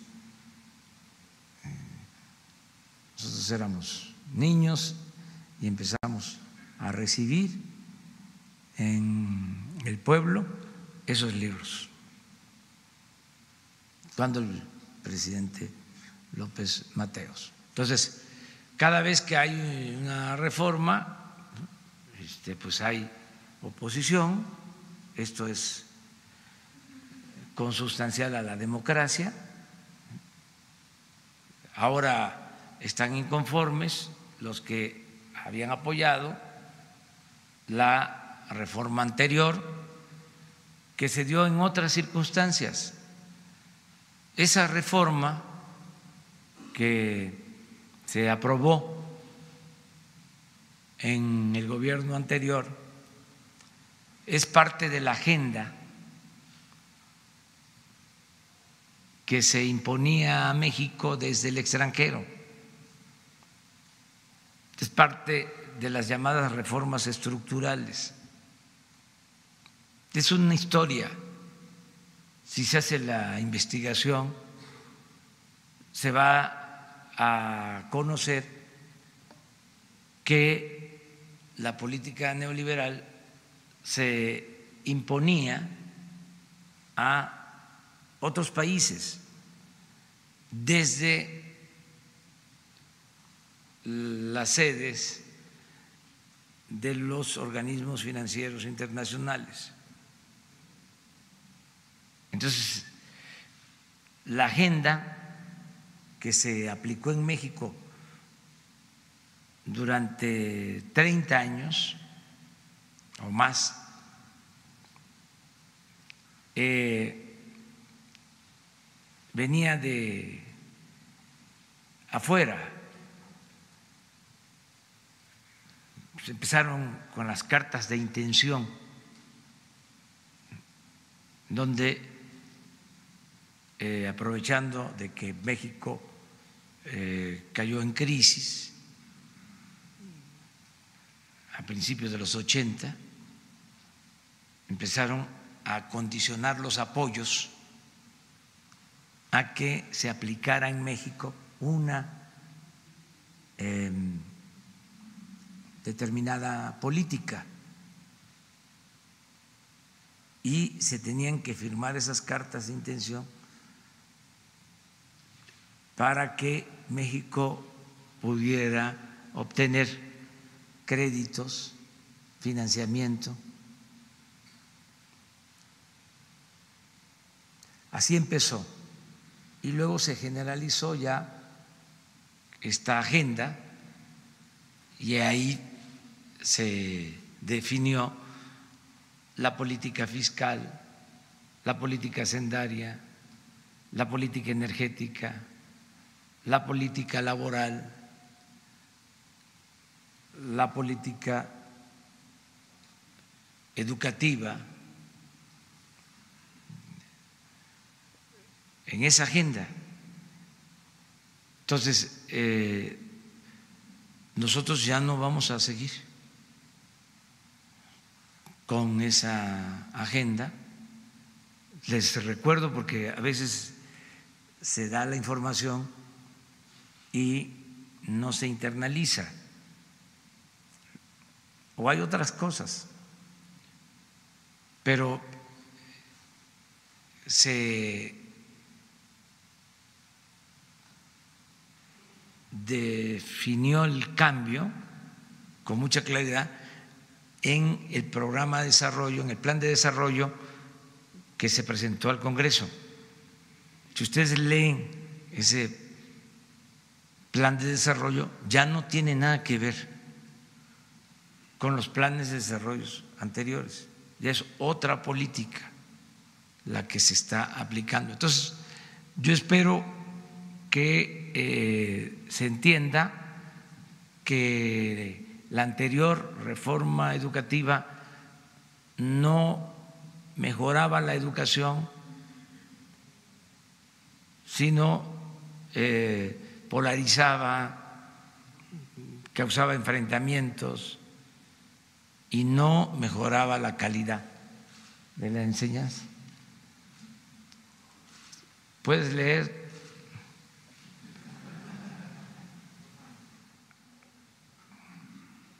Tú no necesitas espejuelos. Bueno. Sí, la carta de Adolfo López Mateos a la patria, eh, escrita el 27 de septiembre de 1960 en el acto de nacionalización de la industria eléctrica. Pueblo de México, les devuelvo la energía eléctrica que es de la exclusiva propiedad de la nación, pero no se confíen, porque en, en años futuros algunos malos mexicanos, identificados con las peores causas del país, intentarán, por medios sutiles, entregar de nuevo el petróleo y nuestros recursos a los inversionistas extranjeros. Ni un paso atrás fue la consigna de don Lázaro Cárdenas del Río al nacionalizar nuestro petróleo. Hoy le tocó por fortuna a la energía eléctrica. Pueblo de México, los dispenso de toda obediencia a sus futuros gobernantes que pretendan entregar nuestros recursos energéticos a intereses ajenos a la nación que conformamos. Una cosa obvia es que México requiere de varios años de evolución tecnológica y una eficiencia administrativa para lograr nuestra independencia energética. Sería necio afirmar que México no requiere de la capacitación tecnológica en materia eléctrica y petrolera. Y para ello, ningún extranjero necesita convertirse en accionista de las empresas públicas para apoyarnos. Solo un traidor entrega su país a los extranjeros. Los mexicanos podemos hacer todo mejor que cualquier otro país. Cuando un gobernante extranjero me pregunta si hay posibilidad de entrar en el negocio de los energéticos o a la electricidad, le respondo que apenas estamos independizándonos de las invasiones extranjeras que nos vaciaron en el país. Sigue. Sigue más la, la- Sí. Pues a ver. Hay un párrafo, yo creo que es el que sigue, nos dice que nosotros, este, a eso, a ver, léelo tú. Pero en tanto los mexicanos, si queremos invertir en el petróleo americano o en su producción de energía eléctrica, por si quieren un socio extranjero, en México la constitución es muy clara. Los recursos energéticos y los yacimientos petroleros son a perpetuidad propiedad única y exclusiva del pueblo mexicano. El resto de las especulaciones al respecto son, una traición, son traición a la patria. Industrializar el país no implica una subasta pública de nuestros recursos naturales ni la entrega indiscriminada del patrimonio de la patria. Bueno, pues ahí está la respuesta. ¿Qué visión? ¿Qué visión de...? Pero ese era Adolfo López Mateos. Pues mu- muchas gracias. Muy respetado como presidente. Cuando vino este el presidente Kennedy, este, le dio un trato de mucho respeto, le trajo de regalo, entre otras cosas, un grabado del presidente Juárez que tenían en Estados Unidos. Y yo encontré ese retrato grabado y lo tengo en la oficina de esa visita. Es un buen presidente de México, fue un buen presidente de México, Adolfo López Mateos. Como yo diría también don Adolfo Ruiz Cortines y desde luego el general Lázaro Cárdenas. Ya este, otros, pues cada quien que opine. Adelante.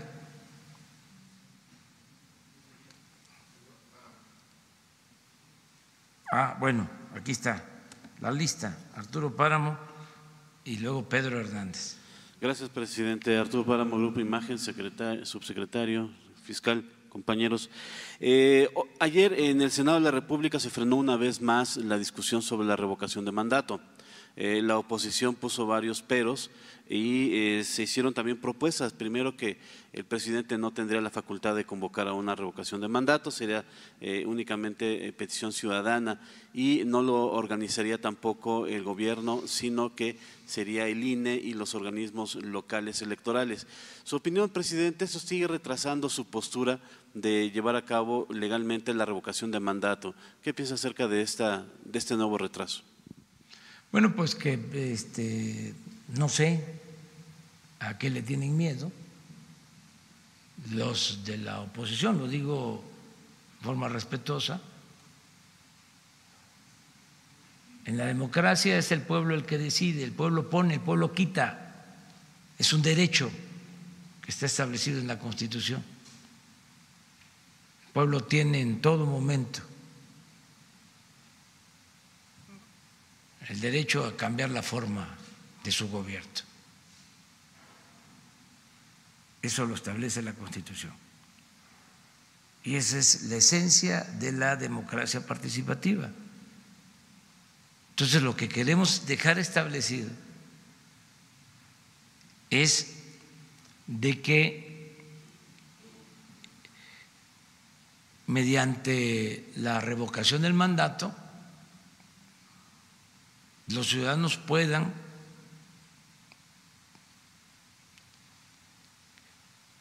mantener o quitar a una autoridad. Es un eh, elemento fundamental de la democracia. Entonces, primero, que no se hiciera la consulta el mismo día de la elección. A mí me preguntaron porque yo presenté la iniciativa, dije, está bien que se adelante, que se le pregunte a la gente en el 21,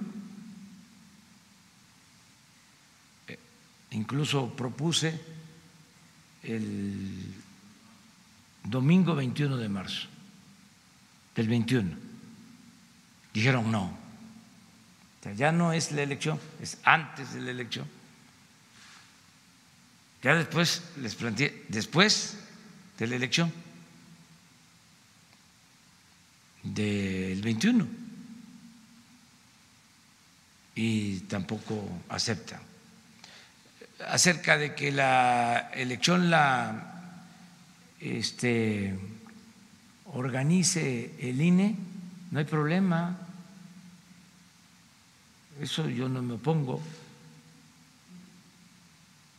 Y si no la solicita, este, el presidente, o que no tenga derecho a solicitarla al presidente en turno, pues que sean los ciudadanos también. Yo lo único que voy a pedirle a la gente es ayuden a que haya democracia participativa, este, organícense y pídanle a ustedes. Y ya. Pero lo importante es que haya revocación de mandato, porque no tiene por qué el pueblo soportar tanto tiempo a una mala autoridad. Se elige por seis años.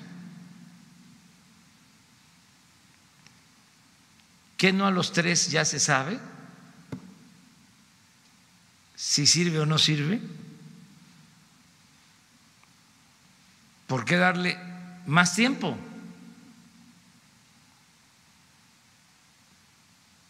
Ya no funcionó, se dedicó a robar, no trabaja, es un autoritario, represor.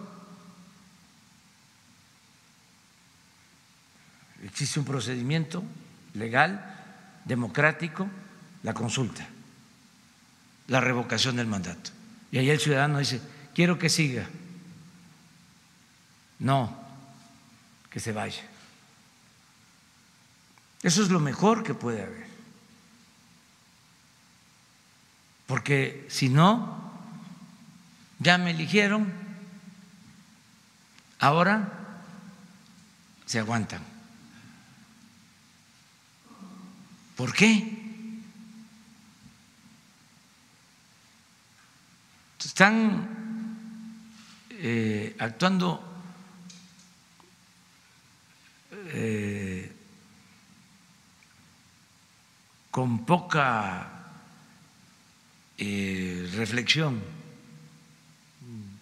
los legisladores que se oponen, porque esto no debe de ser motivo para rechazar la iniciativa.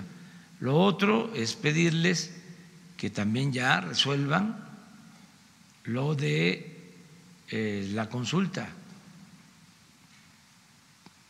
ciudadana, el que si hay eh, una solicitud, ahora por ejemplo, eh, no quieren que se haga el aeropuerto, en vez de estar con sabotajes legales, si hay eh, consultas, si lo permite el artículo 35 de la Constitución, para eso es la reforma, se juntan eh, firmas, se acreditan y a preguntarle al pueblo. En la democracia el pueblo manda, el pueblo decide. Entonces, eso también nos hace falta. Y está ahí este, detenido. Y aprovecho para decirle a los legisladores que, bueno, primero agradecerles porque se aprobaron las leyes secundarias, ahora sí, la vez pasada yo cometí el error, me informaron de que ya se habían aprobado, pero no, ahora sí, ya se aprobaron. Agradecerle a los legisladores, a todos, a los que votaron a favor y a los que votaron en contra, porque ya este, tenemos este marco legal que era importante, necesario, para dar tranquilidad, para que haya certidumbre. Eh, agradecerles y eh, recordarles que tenemos pendientes eh, lo de la prohibición de las condonaciones de impuestos, la reforma al 28 constitucional, que es muy importante, que tenemos pendiente lo de eh, convertir en delito grave la facturación falsa, lo de las empresas fantasmas. Hemos estado haciendo un análisis y se calcula que se evaden, se dejan de recibir alrededor de 500 mil millones de pesos por el uso de las facturas falsas es un robo en despoblado. No, no en despoblado. A la vista de todos. Este, y eso está ahí pendiente, que también ojalá ya se apruebe, eh, porque eso nos va a ayudar mucho si eh, no hay defraudación fiscal, la hacienda pública se fortalece y no hay motivo ni razón para aumentar impuestos.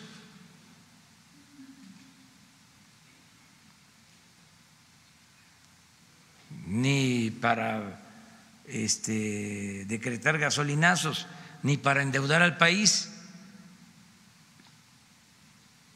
nada más acabando con los privilegios fiscales, que todos contribuyamos, que todos paguemos nuestros impuestos. Eso es lo que se plantea. Lo mismo en el caso de la corrupción. Si no hay corrupción, pues el presupuesto alcanza.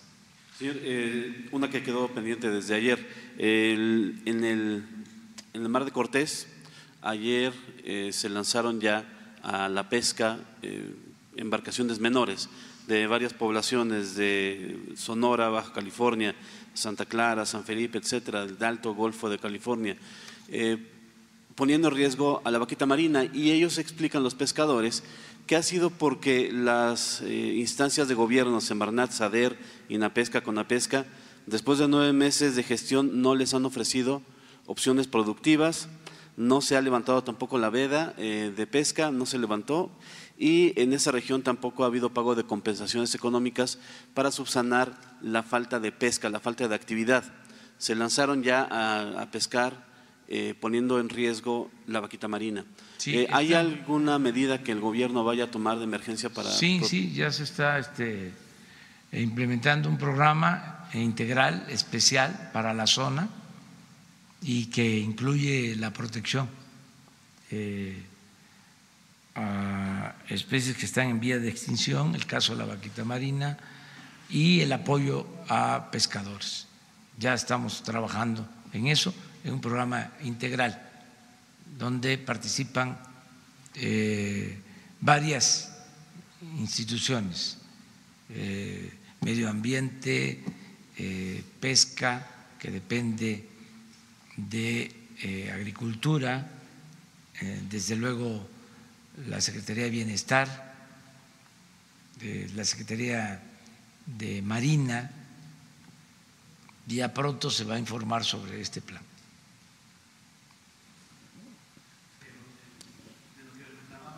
Es que no les ha llegado ningún apoyo. Sí, estamos en eso, estamos trabajando en eso.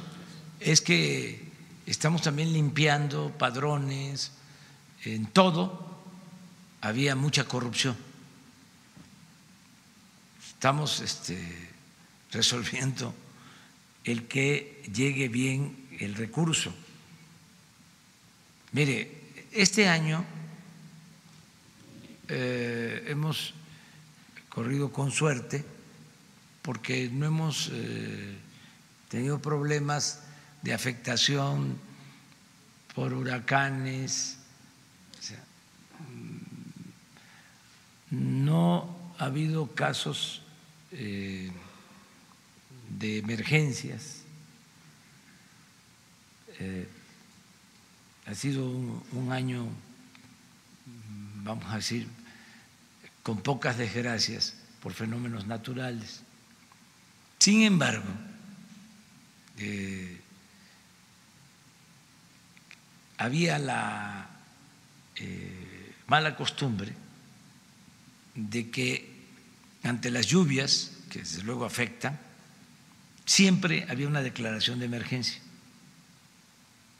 O dos, o tres, o cuatro, o cinco, o diez, o veinte, o cien. Porque eso significaba utilizar dinero de una bolsa para comprar víveres, cátedres, láminas y demás.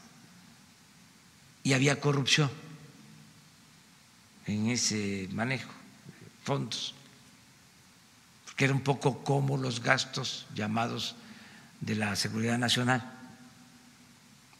A lo mejor por ahí tenemos la gráfica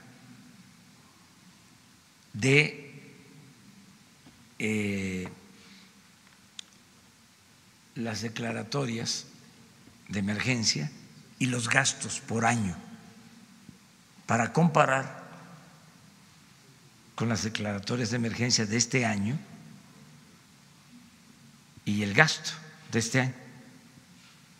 Porque no eh, estoy hablando de otro asunto, ¿no? Es poner el ejemplo de eh, cómo supuestamente se ayudaba.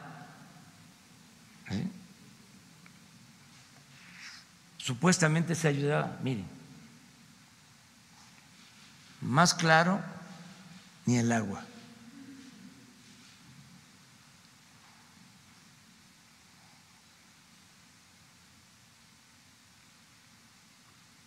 Este es el número de declaraciones de emergencia y desastres por año. Claro que hay años, por ejemplo, el año del sismo, ¿sí? Luego tenemos identificado los huracanes más fuertes, por eso hablé de que hemos tenido suerte, pero así estamos. A ver si ponen la otra lámina sobre dinero.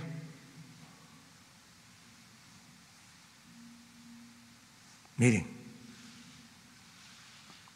estos son billullos.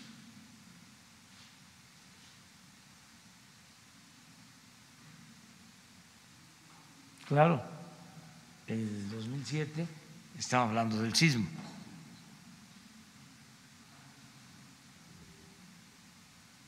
Cuarenta y dos mil millones. Nosotros estamos aquí.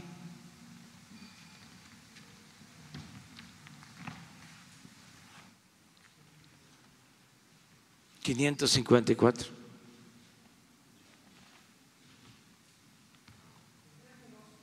Claro, claro que era negocio. No llegaba a la gente, o llegaba una parte y se robaban la mayor parte.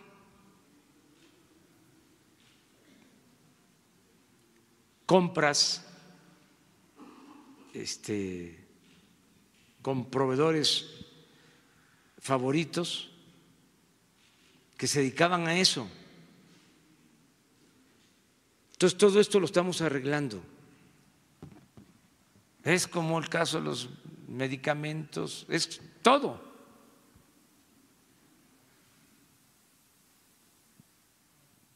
Entonces sí va a haber apoyo a los pescadores, pero queremos que les llegue de manera directa. Por ejemplo, ¿eh? ¿Qué se beneficiaba aquí? ¿Las constructoras? Eh, funcionarios y las constructoras y proveedores.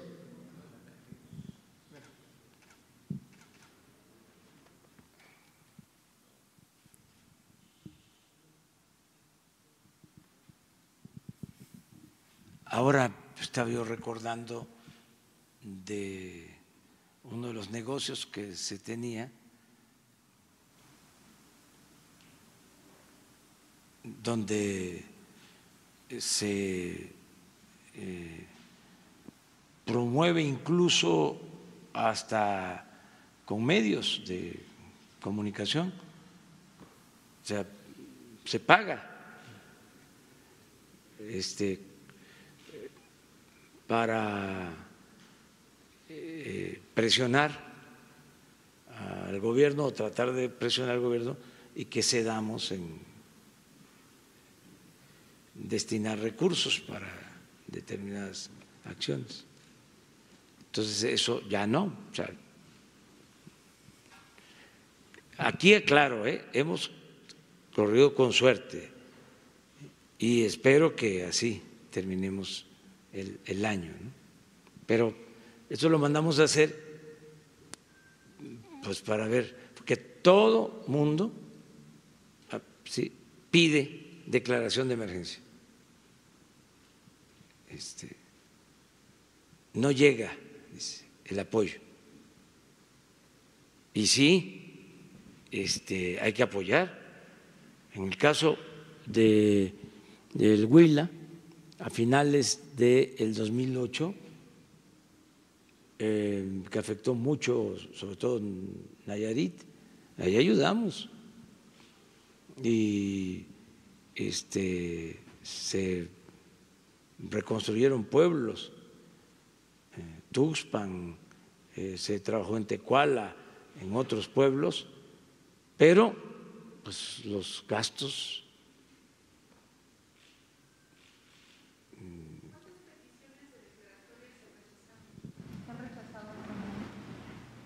Hay una lámina sobre el reciente huracán que afortunadamente no produjo ninguna desgracia humana,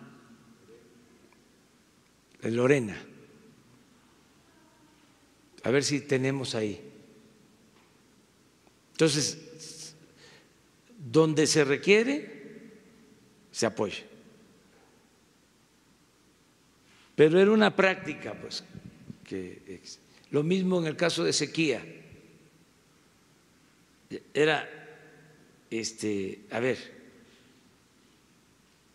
un programa especial o eh, recursos especiales para organizaciones o gobiernos.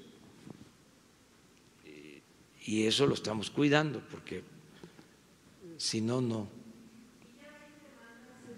¿Mande? Ya hay demandas. Eh, la semana pasada nos decía el, el que nos dio el informe que, eh, por ejemplo, lo de la Ciudad de México, los desvíos que se hizo, que había ya demandas en la Fiscalía. Aparte de estas, ¿tienen más demandas en relación a estos desvíos? Sí, sí, hay, hay denuncias, en, pero esto es, por ejemplo, muy concreto, mire, Lorena.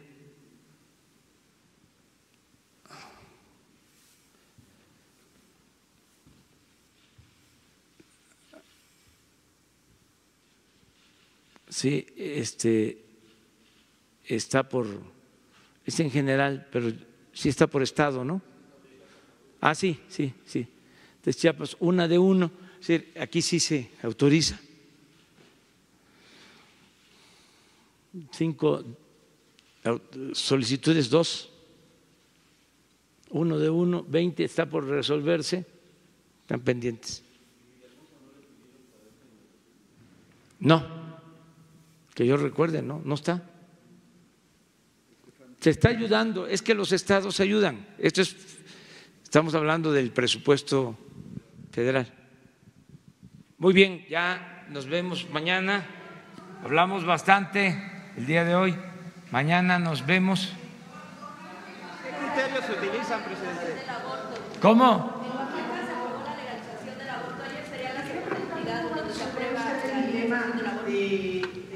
Rincón volvió a ganar un contrato ahora en la CEP y sigue siendo su compadre. Pues ¿Cómo va a resolver ese, ese dilema? ¿Le va a quitar todos los contratos por ser su compadre o lo va a beneficiar siendo contratista del gobierno? Pues que lo vea la este, oficina, la Secretaría de la Función Pública, que ellos determinen. No hay inhabilitación, o sea, la empresa ganó la. Ganó sí, pero de todas maneras, o sea, que emita un dictamen la Secretaría de la Función Pública. Eh, Que no haya ni siquiera la sospecha, ser y parecer. Entonces, eh, que se aclare todo, todo, todo, todo, todo, y que este, trátese de quien se trate, y que la función pública este, emita un dictamen. ¿Han platicado de ese tema? No, no, no, ni sabía, ahora me enteré. Pero después de lo que ocurrió la vez pasada, platicaron sobre lo, lo complejo que podría ser que él fuera No, contratista del no, no, gobierno. no hablé. Este, esa vez sí, este, tuve comunicación con él, pero no volví a hablar con él sobre estos temas. pues, este, y ahora me enteré de esta situación, que la eh, Secretaría de la Función Pública informe. O sea, este, y repito, cero corrupción, cero impunidad, todos aportarnos bien. Me hicieron una observación.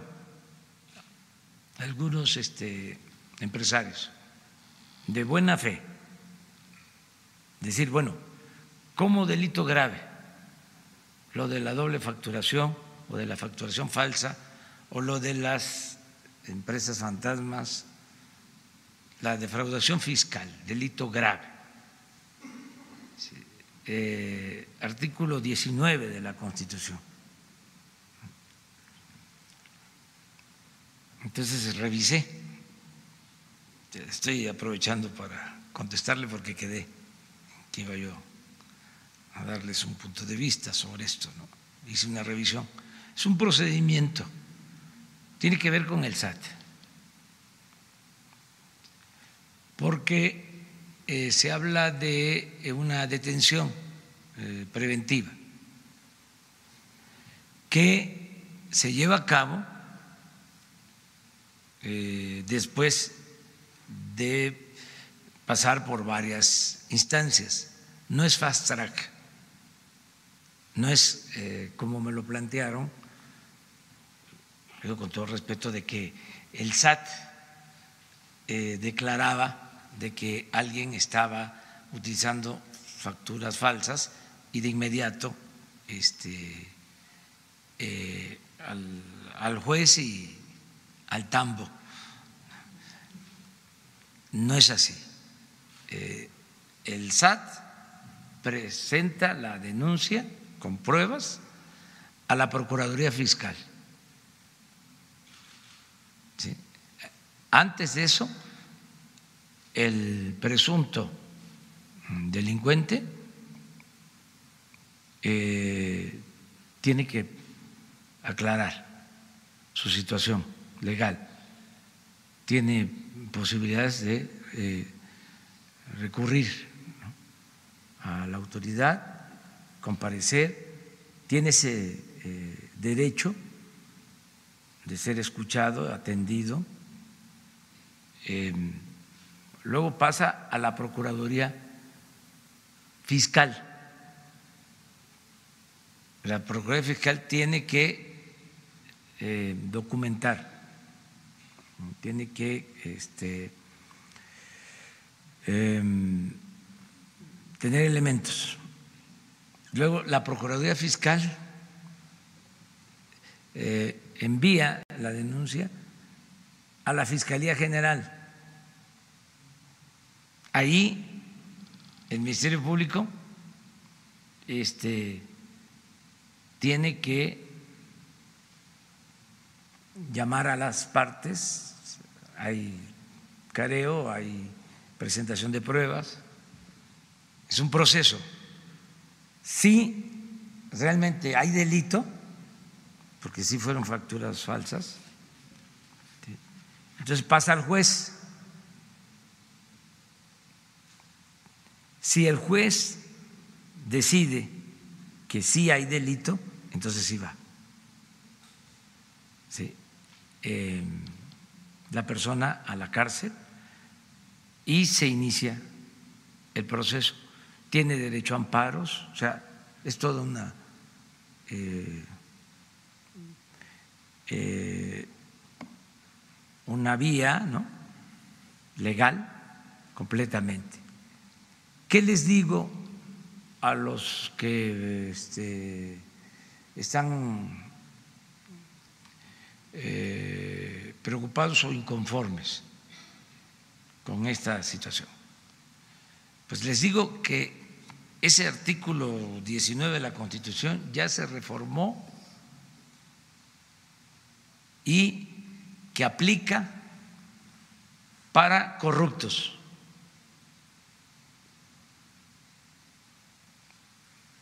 Aplica para guachicoleros,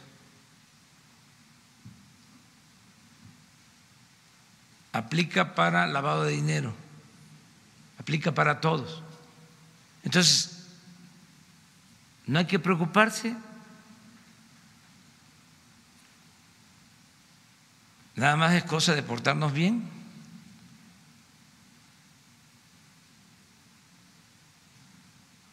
Si nos portamos bien, si no somos corruptos, si no defraudamos, si este,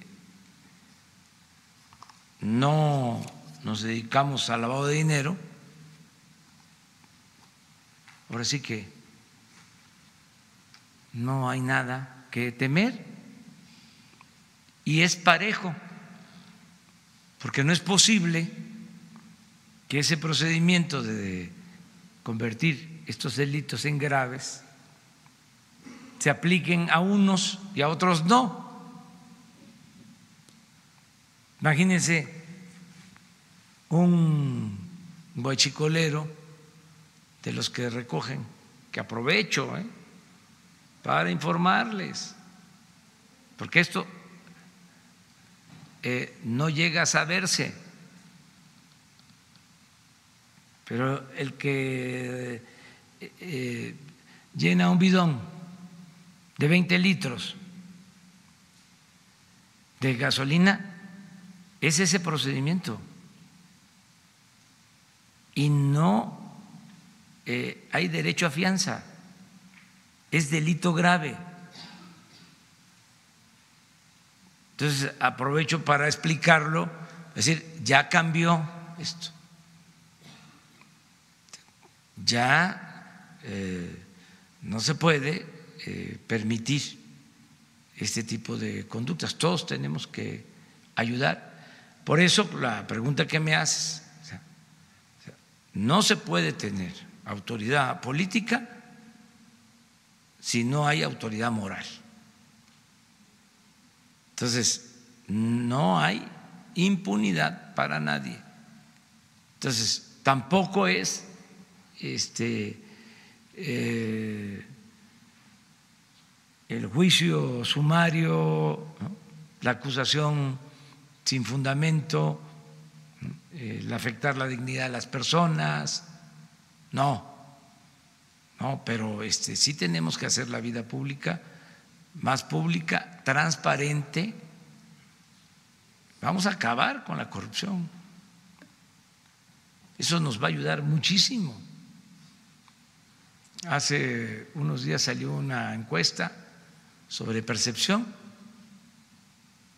Estaban, me decían, que sorprendidos en el extranjero los que aplicaron esta encuesta por los resultados de que ya nos califican mejor en cuanto a que no hay la corrupción que se eh, tenía antes o que se percibía. Entonces, esto nos ayuda mucho. Ayer estuve con banqueros y independientemente de que siempre eh, hablan antes más de Estado de Derecho, que les importa mucho eso, que se garantice la legalidad, que haya un auténtico Estado de Derecho, que, bueno, pues eso ya pasó a segundo plano, ya no me dicen este, si va a haber garantías a las inversiones, no, no andan este, dudando de eso. Ya saben que hay legalidad. O sea, están bien informados sobre eso. Y vienen a decir que le tienen confianza al gobierno porque eh, se ha eh, tomado la decisión de combatir la corrupción. O sea, eso nos ayuda mucho hasta en cuestiones que tienen que ver con la economía o con las finanzas. Entonces, sí es importante no permitir a nadie actos de corrupción. O sea, vamos a terminar de limpiar el gobierno por completo de corrupción. Nos vemos mañana. Gracias.